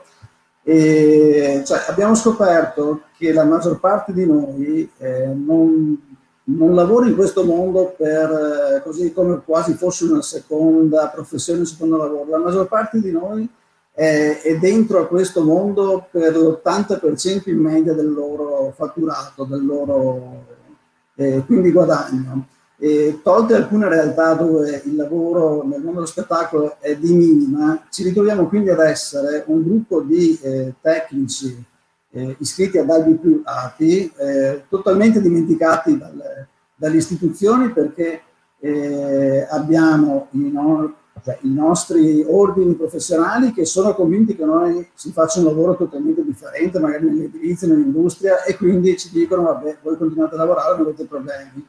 La parte, diciamo, tra virgolette, IMSS non ci considera perché appunto siamo di ordini privati, quindi casse private, e quindi abbiamo decine e decine, centinaia di tecnici che quest'anno hanno visto i loro guadagni ridursi dell'ordine dell'85-90% in, in media, in alcuni casi di più, in alcuni casi di meno, ma la media è questa purtroppo, e, e, che al momento non hanno avuto nessun riscontro dal punto di vista delle istituzioni. Con Bauli in Piazza stiamo tentando di far capire che ci siamo anche noi, che operiamo in questo settore, che non facciamo in tempo in pochi mesi a riconvertirci, magari ritornando all'edilizia o all'industria, perché il tempo di, della riconversione probabilmente, anzi speriamo, eh, coinciderebbe con la ripresa del mondo della, della musica e dello spettacolo. Oltre a questo ho riscontrato purtroppo, parlando con molti miei colleghi, anche un altro fattore, un fattore di eh, disagio, di, depressione, se così la possiamo chiamare, purtroppo. C'è proprio un disagio di persone che si sentono sole, abbandonate e, e, e con i computer spenti, col telefono che non squilla, con il completo abbandono da parte di tutti. E quindi anche questo creerà un problema eh, sociale non indifferente che è legato non solamente al mio settore ma un po' a tutte eh, le persone che hanno parlato fino adesso. Per la ripresa cosa dire? Di certo la parte strutturale non comanda questo aspetto, ma eh, secondo me dobbiamo stare attenti a due fattori in particolare nel, nell'indoor non possiamo fare più di tanto perché eh, sperando che i posti vengano dati con una percentuale sulla capienza, eh, sulla capienza effettiva, eh, le installazioni saranno pressoché eh, identiche a quelle di prima. Nel, all'aperto invece potremo anche ipotizzare che per allargare eh, lo spazio dedicato ai, agli spettatori ci sia anche una richiesta nel primissimo eh, periodo, quello di transizione per il ritorno alla, alla, normalità, una richiesta di strutture che siano magari un po' più alte e un po' più con strutture intermedie per andare a raggiungere i punti più lontani della, eh, dell'area dello spettacolo, che si presume possano, dove possibile ovviamente, essere amplificati. E questo poi si riporterà ad un annoso problema legato alla sicurezza dove molto spesso tutto quello che è struttura, anche altro, però tutto quello che è struttura viene considerato come qualcosa di, eh, sembra quasi non, non importante o secondario. Quindi quando si parla di budget, quando si parla di soldi, eh, ce ne sono sempre stati pochi a volte per studiare o per eh, ottimizzare questo aspetto legato alle, alle strutture che alla fin fine eh, invece sono molto importanti per la sicurezza e degli artisti e del pubblico mm, presente. E quindi io auspico e tenteremo in tutti i modi di, di, far passare questo segnale, che venga posta la giusta attenzione su questo aspetto e che la ripresa con i... Cioè, sarà sicuramente una ripresa eh, legata a dei problemi economici di budget, ma questo non deve essere permesso, deve, noi stessi dobbiamo porci per primi per evitare che ci sia una disattenzione, una mancanza di, di attenzione su questi aspetti, che ci vengono tolte ancora risorse perché creeremo in questo modo un, un ambiente molto pericoloso, una situazione molto pericolosa eh, da evitare in tutti i modi. Per quanto mi riguarda, eh, finirei qui vista l'ora, poi se ci sono qualcosa, qualche intervento, qualche okay. domanda. Ti, ti, ti, ringrazio e eh, anche in questo caso faccio vedere un, un stato da quella che è la progettazione delle strutture, ovviamente, al, eh, diciamo, all'intervento, all'adeguamento del pubblico spettacolo, a questioni di safety e security e a questo punto introdurre l'ingegner Leonetti Ostacchio, che è un mentore per il, il settore prima di conoscerlo, diciamo che poteva apparire quasi come una figura mitologica, anche perché lui è una di quelle figure che è sempre sul campo, è meticoloso, puntuale, professionista comunque all'avanguardia, con un'esperienza veramente pluriennale. Sin dagli anni 90 è tecnico incaricato per l'espletamento di progetti di adeguamento delle pratiche finalizzate all'ottenimento dell'agibilità dei locali di pubblico spettacolo per i teatri, cinema, discoteche e locali di pubblico spettacolo in genere. Vanta nel 97 la prestigiosa consulenza tecnica anche per allestimenti temporanei dei vari campi di, di gara relativi ai giochi del Mediterraneo. A partire dal 97 è tecnico incaricato per progetti finalizzati all'ottenimento dell'agibilità per eventi temporanei pubblico spettacolo per committenti pubblici e privati, tra i quali anche Regione Puglia, Teatro Pubblico Pugliese, Comune di Bari, Fondazione Petruzzeri di Bari, Telenor, Radio Nave, insomma ce ne sono tantissimi, praticamente per tutte le agenzie nazionali dello spettacolo, oltre, oltre che per vari promoter locali. Da 2000 è tecnico incaricato per l'ottenimento dell'agibilità di pubblico spettacolo per i guadagni in cassa della città di Bari specializzato in impianti elettrici e tecnico antincendio, dal 2017 tecnico incaricato per e security in eventi temporanei di rilievo nazionale, docente in vari corsi di formazione professionale della Regione Puglia in ambito dei locali di pubblico spettacolo e di intrattenimento, e già componente della Commissione provinciale di vigilanza sui locali di pubblico spettacolo insediata presso la Prefettura di Bari, quale esperto in elettrotecnica praticamente basterebbe già il curriculum per garantire nella schiettezza delle sue parole lo spessore dell'intervento di un duro, diciamo, del settore spettacolo. Lascio la parola all'ingegner Leonetti. Aspetta che hai il muto. Grazie Francesco okay. per avermi dato la parola, troppo buono, cercherò di essere breve anch'io, visti i tempi.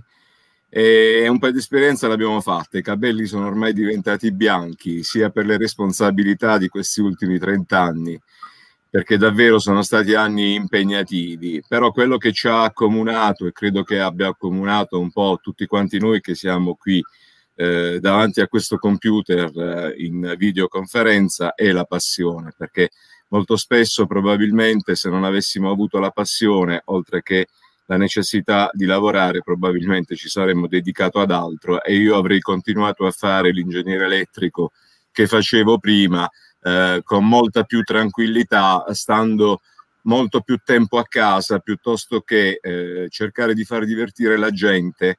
E quindi mentre la gente si divertiva noi siamo sul campo e questo accade nei capodanni, accade a Natale, accade durante il periodo estivo il mio punto di vista. Io mi occupo ormai di agibilità. Uh, quest'estate ho lavorato, uh, devo essere sincero, non mi posso lamentare, eh, chiaramente non nel, nel, settore dei grandi live.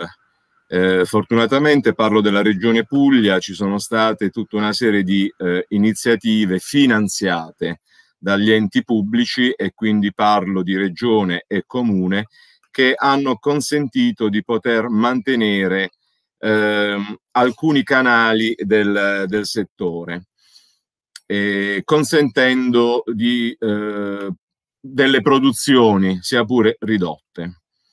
Quello che ho potuto eh, avvertire io personalmente è stata anche un po' di paura da parte della gente. Nel, nell'arrivare nelle, nelle, sedi dei concerti, nelle sedi degli spettacoli.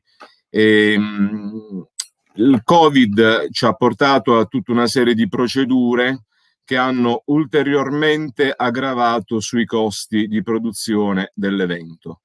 Eh, il nostro mondo negli ultimi tre anni è cambiato completamente perché dopo Piazza San Carlo, per gli eventi all'aperto, abbiamo dovuto sottostare a tutta una serie di misure eh, gravemente penalizzanti per gli organizzatori in termini economici proprio per le misure di safety e security. Adesso ci ritroviamo con le misure, ci, ritro ci siamo ritrovati quest'estate con tutte le misure aggiuntive eh, per quanto riguarda il Covid, delle disposizioni a livello nazionale non chiare, perché si parlava di distanza di un metro, poi sono intervenuti congiunti, poi si andava con la ASL di competenze, questo discorso dei congiunti non andava bene, arrivava la questura o comunque il comando di, di carabinieri locali e certe soluzioni tecniche non venivano accettate. Cioè c'è stato un po' un, una confusione a livello nazionale. Interpellato dei, degli amici che lavorano Uh, sono dei tecnici dei vigili del fuoco, si aspettavano delle linee guida quest'estate. Queste linee guida, ovviamente, per quello che possiamo immaginare un po' tutti quanti, non sono mai venute fuori. Passato. Andiamo al futuro. Uh, quello che ci possiamo aspettare, quello che auspichiamo è sicuramente, dopo l'introduzione che è stata fatta da Paolo Rizzi precedentemente, è che uh, 80, 80 componenti mi spaventano, cioè mi spaventano già tre componenti in genere quando ci si siede intorno a un tavolo. 80 sono davvero preoccupato.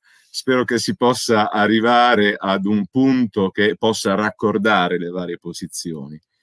Quello che auspico è davvero che ci possa essere un tavolo interministeriale eh, che mh, abbia a che vedere con la cultura, col lavoro, con l'economia, con la finanza, con lo sviluppo economico e con i membri del comitato tecnico scientifico e stabilire delle linee guida che però non, non sono facili da, da, da, stabilire. Io ho visto delle, delle, bozze che sono circolate anche da parte di, di Assomusica e da, da parte degli altri partner, sono delle ottime basi di partenza si tratterà poi di andarle ad applicare nello specifico. In parallelo, perché abbiamo sempre il carico da 11 molto spesso che ci viene aggiunto, eh, dal punto di vista delle normative antincendio eh, è prevista una revisione di quello che è il decreto eh, in base al quale eh, noi effettuiamo o andiamo avanti con l'agibilità che è il decreto del 1996. Ci dovrebbe essere una nuova regola tecnica che imporrebbe ulteriori eh, misure aggiuntive e queste avranno sicuramente delle ripercussioni sia per chi eh, fornisce le venue, quindi per quanto riguarda le strutture eh, che hanno una, eh, un'agibilità di partenza e dove temporaneamente vengono effettuati gli spettacoli, ma anche per gli eventi temporanei all'aperto. Questo da un lato. Dall'altro ci sarà tutta una questione circa i materiali sui quali bisognerà lavorare. E poi, non ultimo, quelle che saranno eh, le situazioni proprio per quanto riguarda il contenimento delle, delle misure eh, anti-Covid, ovviamente. Perché eh, quest'estate, eh, anche per eventi piccoli, abbiamo assistito a eh, tutta una serie di indicazioni che erano andavano bene, funzionavano benissimo sulla carta. Nel momento in cui si dovevano andare a mettere in pratica, arrivava il componente ASL di turno all'interno della commissione ed era un rimettere in discussione sempre tutto quanto. E, ehm, con il risultato che si faceva un evento da una parte, eh, le stesse misure adottate lì, poi spostandosi anche di qualche chilometro, finivano con l'essere completamente smentite e quindi bisognava ricominciare tutto quanto da capo. Quindi il fatto che ci possano essere delle linee guida nazionali chiare eh, che possano essere utilizzate eh, a livello non solo del, del, regionale, ma in un ambito appunto nazionale, io credo che sia una delle prime cose sulle quali possiamo, dobbiamo um, con, convergere, non possiamo fare diversamente. Gli aspetti dei lavoratori. Ecco, qui entriamo anche nel discorso della sicurezza intesa come eh, oltre che le misure di safety e security per quanto riguarda le misure della eh, sicurezza per quanto riguarda i lavoratori. Anche quest'estate abbiamo cercato con i coordinatori della sicurezza di attuare quelle che erano le misure minime necessarie, ma anche lì eh, applicazione un po' faraginosa e parliamo di piccoli eventi, eh, quindi eh, estendere queste misure ad eventi che abbiano una, una portata di pubblico, eh, tali quelli del, degli eventi live all'aperto, ecco, ci vorrebbe un'organizzazione davvero complicata da mettere sul campo, con un impiego anche di mezzi e di risorse non indifferenti. E, e questo comporterà delle ripercussioni sia sul movimento che un po' anche su quelli che saranno i costi, che tenderanno certamente a, ad aumentare.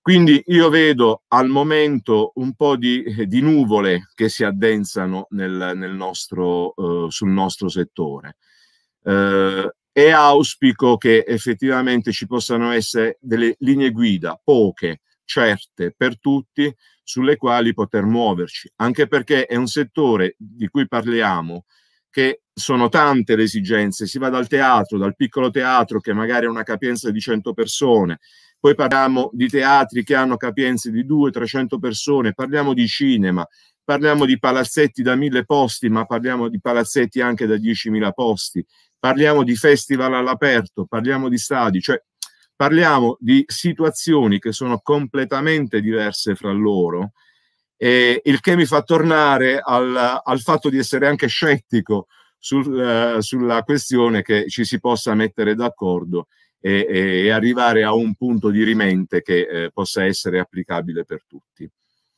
Questa è la mia posizione, non vorrei togliere ancora spazio visto che siamo andati abbondantemente oltre quelli che erano gli orari che avevamo concordato e grazie a tutti per questi contributi che ritengo siano stati davvero preziosi. Grazie. Grazie, grazie Generionetti. Uh, ovviamente le, le visioni, uh, seppur hanno una linea comunque sia diciamo, tesa al, uh, al post epidemia, possono in altri casi non sembrare differenti, ma comunque sia avere anche un, come dire, ehm, chi mostra diciamo un po' più di scetticismo, chi magari riesce ad essere anche un po' meno magari pessimista, anche perché eh, può essere forse anche l'esperienza che eh, fa pensare, diciamo, diversamente. Quindi in questo caso um, lascerei Volevo poi la... aggiungere due parole perché mm. adesso col tuo intervento mi è venuto in mente quello che avrei voluto dire prima. Uh, queste norme che si intravedono, questa nuova regola tecnica verticale porta ad una differenziazione delle uscite rispetto agli ingressi nelle venue. Questo Beh. comporterà una riduzione eh, anche delle capienze e, e questo sarà un altro problema che sarà da gestire. Ci troveremo tutta una serie di situazioni che dovremo gestire. Eh, speriamo di essere in grado e speriamo che il, il, movimento possa essere tale da poterle sopportare tutte quante queste, queste novità a cui andiamo sicuramente incontro. Mi taccio definitivamente. Grazie. Assolutamente, anche perché come diceva Magno, siamo poi sempre pronti ad adattarci e a cercare in ogni modo, diciamo, e ad ogni modo eh, di far, diciamo, can- di cancellare quello che era il punto interrogativo no? al, al, titolo del, del webinar, in modo tale che lo spettacolo lo si faccia. Quindi a questo punto dovrei introdurre eh, l'ingegner Mario Petrella, che eh, è laureato in ingegneria civile e gestionale, ma che inizia la sua attività nel settore del, dello spettacolo nel 99 in qualità di, di geometra come tecnico incaricato per l'ottenimento dell'agibilità per eventi, spettacoli nei palazzetti e negli stadi, presta la sua collaborazione per aziende del campo dello show relativamente alla loro logistica. Negli anni ha maturato ovviamente anche una grande esperienza nel campo della sicurezza sul lavoro, trovandosi a cavallo dell'applicazione della normativa ex 626, 494 e poi l'8108 con, se non ultimo, il decreto Palchi e Fiere. Si occupa inoltre di verifiche e calcoli per strutture reticolari per aziende dello spettacolo. Se volessimo diciamo, citare alcuni degli ultimissimi lavori di rilievo del, dell'ingegnere Mario Petrella, ricordiamo Sanremo 2020 per la gestione di logistica e produzione per il consorzio Gruppo Eventi e Rai Pubblicità, 48esima edizione di settembre al Borgo 2020 con, come direttore di, di produzione, Spons Fest 2020 con lo studio di applicazione delle ordinanze per la gestione dei flussi piani anti-Covid, Mondiali di sci 2020-2021 per Rai Sport, progettazione Casa Veneto a Cortina d'Ampezzo. Ho avuto il piacere di conoscerlo durante una sua direzione lavori mentre seguivo il coordinamento sicurezza per allestimento strutture eh, per un evento presso l'Arena delle Vittorie di Bari e mi colpì tantissimo la sua praticità e la capacità di adattamento alle situazioni critiche o meno critiche. Uh, un professionista sicuramente solido e anche poliedrico perché riesce ovviamente proprio con la sua praticità a um, fornire un gro- grande, grandissimo supporto alle produzioni, tant'è vero che Uh, lui si presenta anche uh, come possibile direttore di produzione, tant'è vero che ha seguito appunto diversi eventi come direttore di produzione, quindi non solo uh, tecnico specialista, ma in questo caso anche direttore di produzione. Quindi lascio la parola a Mario. Ti ringrazio, sei gentilissimo e mm. sei stato molto buono. Non, per carità, sono un piccolo direttore di produzione perché ce ne sono tanti che sono più grandi e di tante altre esperienze molto più grosse. Um, posso dire soltanto che mh, dopo aver sentito a, a Rizzi, a Camporese, a Igoro, a, cioè a tutti, chiedo scusa se non li nomino tutti quanti, c'è uh, forse un punto. Uh, in realtà dobbiamo essere realisti, non uh, disfa- disfattisti.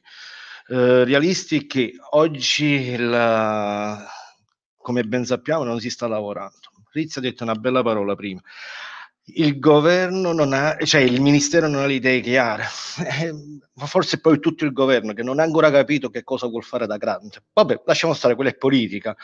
Uh, il ministro, il ministro che ci, ci, dovrebbe sostenere non sa neanche che forse esistiamo e giustamente Paolo ha detto ora si, sta, si stanno... Uh, si sta um, aprendo quest'altra pagina per vedere che esistiamo per davvero. Eh, sì, è stato un anno terrificante, però eh, cercheremo di... Per ora stiamo sopravvivendo. Grazie a in Piazza eh, e altre associazioni mm, faremo, cioè, stanno facendo in modo tale che eh, diciamo stanno dando un aiuto, un grande aiuto eh, per farci conoscere perché non siamo, in, non siamo invisibili, vorrei dire. Noi siamo visibili, ci siamo e questa è una cosa importante. Eh, e come diceva Camporese, è un nostro, è un lavoro reale perché non è possibile che vada all'estero esiste questo lavoro. Stiamo in Italia, io io, ma tutti voi come noi, ci, ci viviamo con questo lavoro, perciò il lavoro è reale. Uh, ed è vero anche il fatto del terrorismo sulla comunicazione, sbagliatissimo. Cioè, ci hanno distrutto così, però uh, come diceva prima sia Icoro che poi l'ha ripetuto anche Leonetti, uh, la, bisogna eh, ora bisogna tenere la testa ad alta, perciò eh, cercare di non affogare ma di sopravvivere e di dare una forza uh, sia sostenibile alle persone perché sino oggi ormai è quasi perso il lavoro per chi fa il facchino, per, per tutti in realtà. Perciò uh, Forza Bauli Piazza che ci dà una mano e nulla. Io ti ringrazio, scusatemi le poche parole di quello che ho detto e niente, ti ringrazio Francesco e passo la linea. Grazie a te Mario. Uh, io uh, a questo punto, diciamo, per un po' uh, tirare le fila, diciamo, di tutto questo incontro, vorrei che intervenisse a questo punto l'ingegner Danilo Vienno. tecnico specializzato nella progettazione e gestione tecnica di luoghi di manifestazioni di spettacolo indoor e outdoor, esperto in analisi fluidodinamica degli esodi in acustica ambientale ed architettonica per luoghi di intrattenimento, e direttore tecnico della società Control Room SRL. Per elencare tutti i suoi lavori probabilmente non basterebbe l'intero webinar, però la sua esperienza ultraventennale nel settore dello spettacolo e dell'intrattenimento fanno di lui uno dei massimi tecnici esperti anche a livello nazionale. A lui l'onere, come dicevo prima, di tirare le somme di questi interventi fin qui ascoltati, fornendoci magari anche un'ulteriore visione d'attore principale ed individuando magari eventuali opportunità in un momento praticamente di stallo. Quindi lascio la parola a Danilo. Grazie. Io ti ringrazio Francesco innanzitutto per la bellissima presentazione, eh, saluto tutti i colleghi qui e ringrazio le persone che ci stanno comunque ascoltando. Che dire, comunque è stato detto tutto perché abbiamo analizzato il nostro mondo a 360 gradi, da chi lo produce a chi lo sorveglia, a chi, da chi lo produce a chi lo progetta, a chi alla fine poi lo sorveglia per essere realizzato. La cosa importante è che comunque questo momento, che è un momento comunque di eh, smarrimento, eh, non venga lasciato tale. Cioè occorre che comunque sia un momento di ripartenza e comunque Bauli in Piazza, di cui eh, sono onorato di farne parte, sta studiando per questo e deve essere anche un momento comunque perché, come diceva l'ingegnere Leonetti, alcune problematiche che sono connesse proprio al nostro mondo, quindi ai grandi ambiti normativi di cui noi eh, molte volte ci dobbiamo trovare a districare per trovare il bandolo della matassa, eh, possano venire risolte. Quindi la cosa importante è che adesso siamo, come abbiamo detto tutti, chi più o meno fermi, si lavori insieme, si cerchi comunque insieme di trovare una soluzione condivisa e univoca, perché uno dei grossi problemi, come hanno detto anche comunque i colleghi qui, è l'univocità comunque delle scelte, delle norme e delle linee interpretative, addirittura delle norme stesse. Noi siamo adesso in un momento di stallo. Questo momento di stallo deve essere un momento per cui quello che va bene a Palermo deve andare bene anche a Milano. Quello che è snello a Aosta deve essere snello anche a Taranto. Quindi un momento anche per noi come tecnici di non subire solo questo stop in una maniera del tutto eh, passiva, ma anche noi come comunque tecnici che, come diceva Icaro, alcuni di noi riescono ad avere anche l'80, il 90% del loro fatturato all'interno del mondo dell'intrattenimento del pubblico spettacolo, possano essere testimoni, quindi portare avanti questa richiesta comunque di cambiamento anche nel mondo normativo, perché se una norma è più semplice, è più semplice lavorare e anche costa di meno andare a realizzarla. Quindi, come diceva il dottor Marrone, non ci si deve trovare dinanzi a un dedalo di norme che tra estintori o comunque mille altri equipment che devono essere messi in atto possano, diciamo, andare a complicare la vita a chi organizza un evento. Secondo me deve essere questa una eh, occasione per portare il tutto alla semplicità, però tenendo comunque anche un occhio ben fisso al fatto che, come dicevano altri colleghi qui, il eh, fatto di, eh, di ripartire comporterà l'istruzione, quindi il reinserimento all'interno del nostro mondo di figure che magari questo mondo qui, perché alcune sono andate via, non l'hanno mai visto e non l'hanno mai vissuto. Quindi noi dobbiamo ripartire tenendo alta l'asticella della qualità, anzi tenendola ancora più alta. Perché comunque il fatto di essere, come diceva Angelo, io mi, mi, mi definisco sempre un giostraio evoluto invece che un circense, essere comunque sempre visto come un giostraio evoluto non funziona noi abbiamo, e, e, io ho fatto parte anche insieme a Icaro e a Paolo di tanti tavoli dove comunque ci vedevano da prima veramente come dei giostrai, ma poi sentendo comunque la competenza tecnica e eh, sia da un punto di vista eh, proprio tecnico di ambito scientifico, anche da un ambito, in ambito gestionale, la gente si deve ricredere perché noi siamo comunque un mondo altamente specializzato.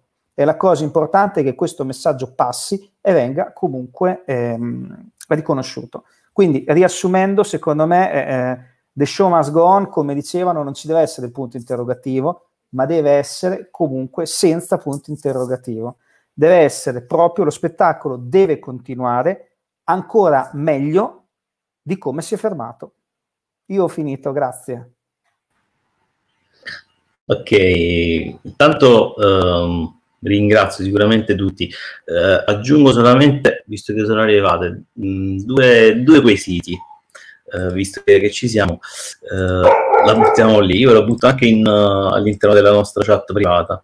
La prima domanda dice questo, pensate che con una possibile ripartenza dopo il lockdown imposto dal Covid-19, crescendo il bisogno poi di riappropriarsi degli spazi culturali, gli eventi possano essere realizzati con numeri vicini a quelli del passato o dobbiamo comunque rassegnarci? Eh. Questa è una bella domanda. Ma guarda, provo, provo a risponderti, io poi magari mi vengo dietro gli altri. Io ho fatto parte del primo gruppo che insieme a Asso Musica ha cercato nel marzo del 2020, appena è partita la pandemia, di tirare fuori delle linee tecniche di indirizzo per il discorso di far comunque ripartire gli, eh, gli eventi. Gli eventi potranno ripartire anche comunque nelle situazioni pre-Covid ma andando comunque a mettere una base fondamentale, che, che, è quella comunque della responsabilità personale. Noi adesso possiamo fare eventi da 50.000 persone, 30.000 persone? No, perché la norma non ce lo permette, ma anche perché comunque lo stesso legislatore, nel bene o nel male, andando comunque sempre a adottare il principio del buon pane di famiglia, quello di massima tutela e di autotutela, si rende conto che il comportamento comunque della gente, quindi del, del pubblico, io lo chiamo agente per la formazione professionale, non è comunque ben definito, ci sono troppe variabili, diciamo così siamo tutti maleducati. Quindi dal momento che comunque anche il pubblico si rende conto della gravità delle cose e si rende conto che questa dinamica può essere portata avanti, è una situazione emergenziale, secondo me si potrà ricominciare. Il problema è che comunque quando com- ci danno un dito di libertà, è ovvio, si vede, ed è umano, per l'amor di Dio, e ci si prende tutto il braccio. E nello stato attuale delle cose, purtroppo chi ci governa questa cosa qui non la vuole vedere. Quindi, comunque sia come anche eh, Angelo nel suo intervento aveva lanciato eh, il concetto del tra virgolette un intervento quasi psicologico anche sullo spettatore, teoricamente è un elemento di fondamentale importanza prima che poi si, si riparta, perché anche la paura poi dello spettatore può essere un elemento diciamo che abbassa quei numeri magari nonostante poi invece c'è la possibilità di fare eventi con numeri differenti da quelli che sono stati imposti fino ad ora probabilmente Un'altra domanda che eh, è stata posta è questa: potrebbe esserci un'ulteriore ricaduta per paura di poter contrarre comunque il virus anche con tutte le misure ed eventuali protocolli messi in atto? Beh. Beh, da quello che si vede in giro nelle varie città, dal punto di vista del pubblico, probabilmente no. È una cosa forse più una paura più a livello istituzionale o a livello di chi organizza le cose. Mi pare che appena aprono non una porta, ma uno spiraglio, la gente subito eh, tenda a riaggregarsi com'è nella genetica dell'uomo. Quindi credo che questo sarà sarà un problema, ma probabilmente l'ultimo dei nostri problemi, ne avremo di ben più pesanti prima. Assolutamente. Allora, mh, prima poi di, di, Io intanto ringrazio e, e, e saluto tutti, però eh, probabilmente eh, faccio fare solamente l'ultimo intervento a, um, al presidente di Ancor, se voleva ovviamente ringraziare tutti voi, eh, non, non vi conosco ovviamente personalmente, ma vi vuole ringraziare per aver partecipato e contribuito ovviamente con eh, i vostri eh, interventi a questo webinar, quindi dando eh, forte spessore appunto al, all'incontro. Quindi datemi soltanto un attimo e facciamo fare intervento anche al, al Presidente. Nel frattempo vedevo che eh, Icaro ci aveva postato eh, l'indice rettinazionale che scende a 0,82, effettivamente un buon segnale, quindi probabilmente qualcosa sta, sta cambiando. Approfittiamo di questo momento per dare ogni tanto anche qualche notizia positiva, visto che è da dieci mesi che siamo bombardati solo da notizie negative. E quindi quando c'è qualcosa di buono, diciamocelo. Sono perfettamente d'accordo quando parlavo di serenità prima, è una serenità che deve arrivare a tutti, a noi perché dobbiamo insomma, uscire da questa situazione, ma soprattutto nella percezione del pubblico che poi ricade anche sui governanti, cioè su chi rappresenta ovviamente. Se non ci sarà questa serenità, i grandi eventi li rivediamo con, cioè 2023 se va bene, c'è delle cose molto molto a lungo termine, quindi mi preoccupa solo purtroppo chi aveva fatto grandi investimenti nel nostro settore, che si è trovato da una parte uh, a, in nulla e con grosse preoccupazioni perché le banche poi ti appoggiano fino a un certo punto, poi ci sono problemi di procrastinare, rifare tutte le pianificazioni resta in apnea e questo crea ulteriore ansia e certo non facilita la serenità, che è quella che auguro. Bene, io a parte che vi volevo ringraziare voi, eh, ho seguito tutti gli interventi che ho trovato eh, particolarmente interessanti. Eh, vorrei ringraziare chi eh, ha partecipato eh, a questi eventi come pubblico, i professionisti che finora si può dire hanno resistito, no? abbiamo sforato tranquillamente, però eh, credo che quando un, un, un, convegno, un webinar affronta dei temi particolarmente interessanti, non te ne accorgi nemmeno, cioè in realtà eh, adesso che Francesco mi ha chiamato ho visto che effettivamente eh, eravamo andati ben oltre e mi fa piacere che eh, le persone si siano soffermate con, assieme a noi comprendo benissimo quali sono le esigenze e soprattutto le richieste del, del settore, perché eh, è chiaro che eh, in questo momento la crisi ha toccato in modo molto particolare eh, il settore dello spettacolo. Ricordo che lo spettacolo è vita, lo spettacolo va fatto live, altrimenti perde completamente il senso eh, di quello che facciamo e di quello che viene costruito. È un'emozione che non si può trasmettere, anche se ci stiamo provando, perché eh, ob torto collo lo dobbiamo fare, va trasmessa dal vivo. E cosa dire?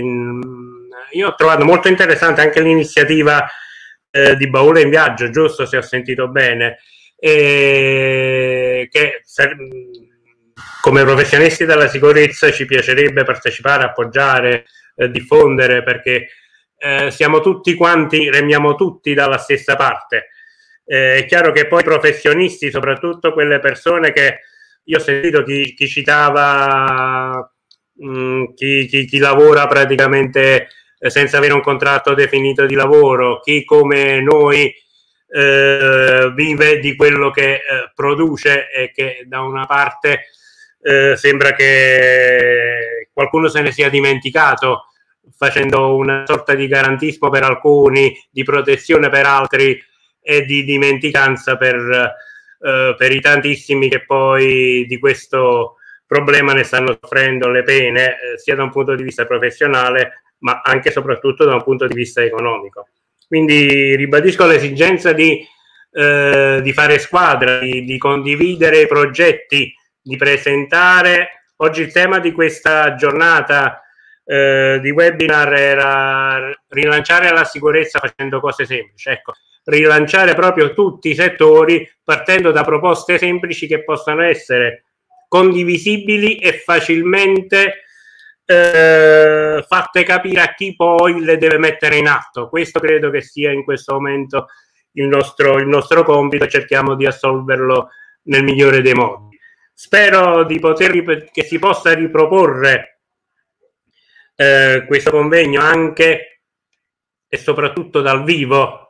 Eh, è un auspicio che ci facciamo, ma nel caso questo non fosse, e chiaramente lo sappiamo tutti che non sarà facile farlo a tempi brevi in un convegno dal vivo, di riproporlo eh, altre volte con queste modalità, perché poi quando si diffonde la voce, quando quando si capisce che si sta facendo servizio a tutti, tutti quelli che sono del settore, ma soprattutto tutto quello che può essere il pubblico interessato poi ad avere e a cui la mancanza oramai eh, si avverte, è, è chiaro che poi si avvicineranno e comprenderanno le nostre esigenze e sarà quello poi la leva per portare le nostre istanze a chi di dovere. Bene, io vi ringrazio di nuovo a tutti per, per la presenza, è stato un piacere, un onore avervi con noi e alla prossima e buon weekend a tutti. Lascio la parola a Francesco per l'ultimo saluto e, e ritorno.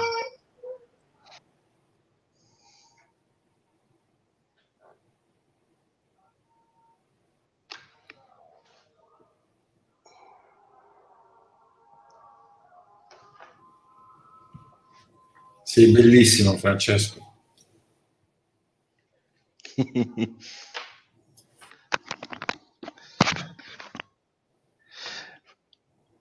Devi attaccare l'audio, Francesco. A parte, a parte praticamente, eh, diciamo, siete rimasti collegati anche voi, insomma, all'interno diciamo, del, del, webinar. Vi ho praticamente rubato del tempo, comunque anche in questi, in questi giorni, ma ripeto, vi ringrazio veramente di cuore. Eh, spero che possa essere anche un trampolino di lancio per eh, opportunità diciamo future proprio per, per far ripartire diciamo questo, questo settore. Quindi magari farò diventare un uh, chissà l'inizio di un qualcosa. Vi ringrazio a tutti. Grazie. Ciao, ciao, ciao ragazzi. Ciao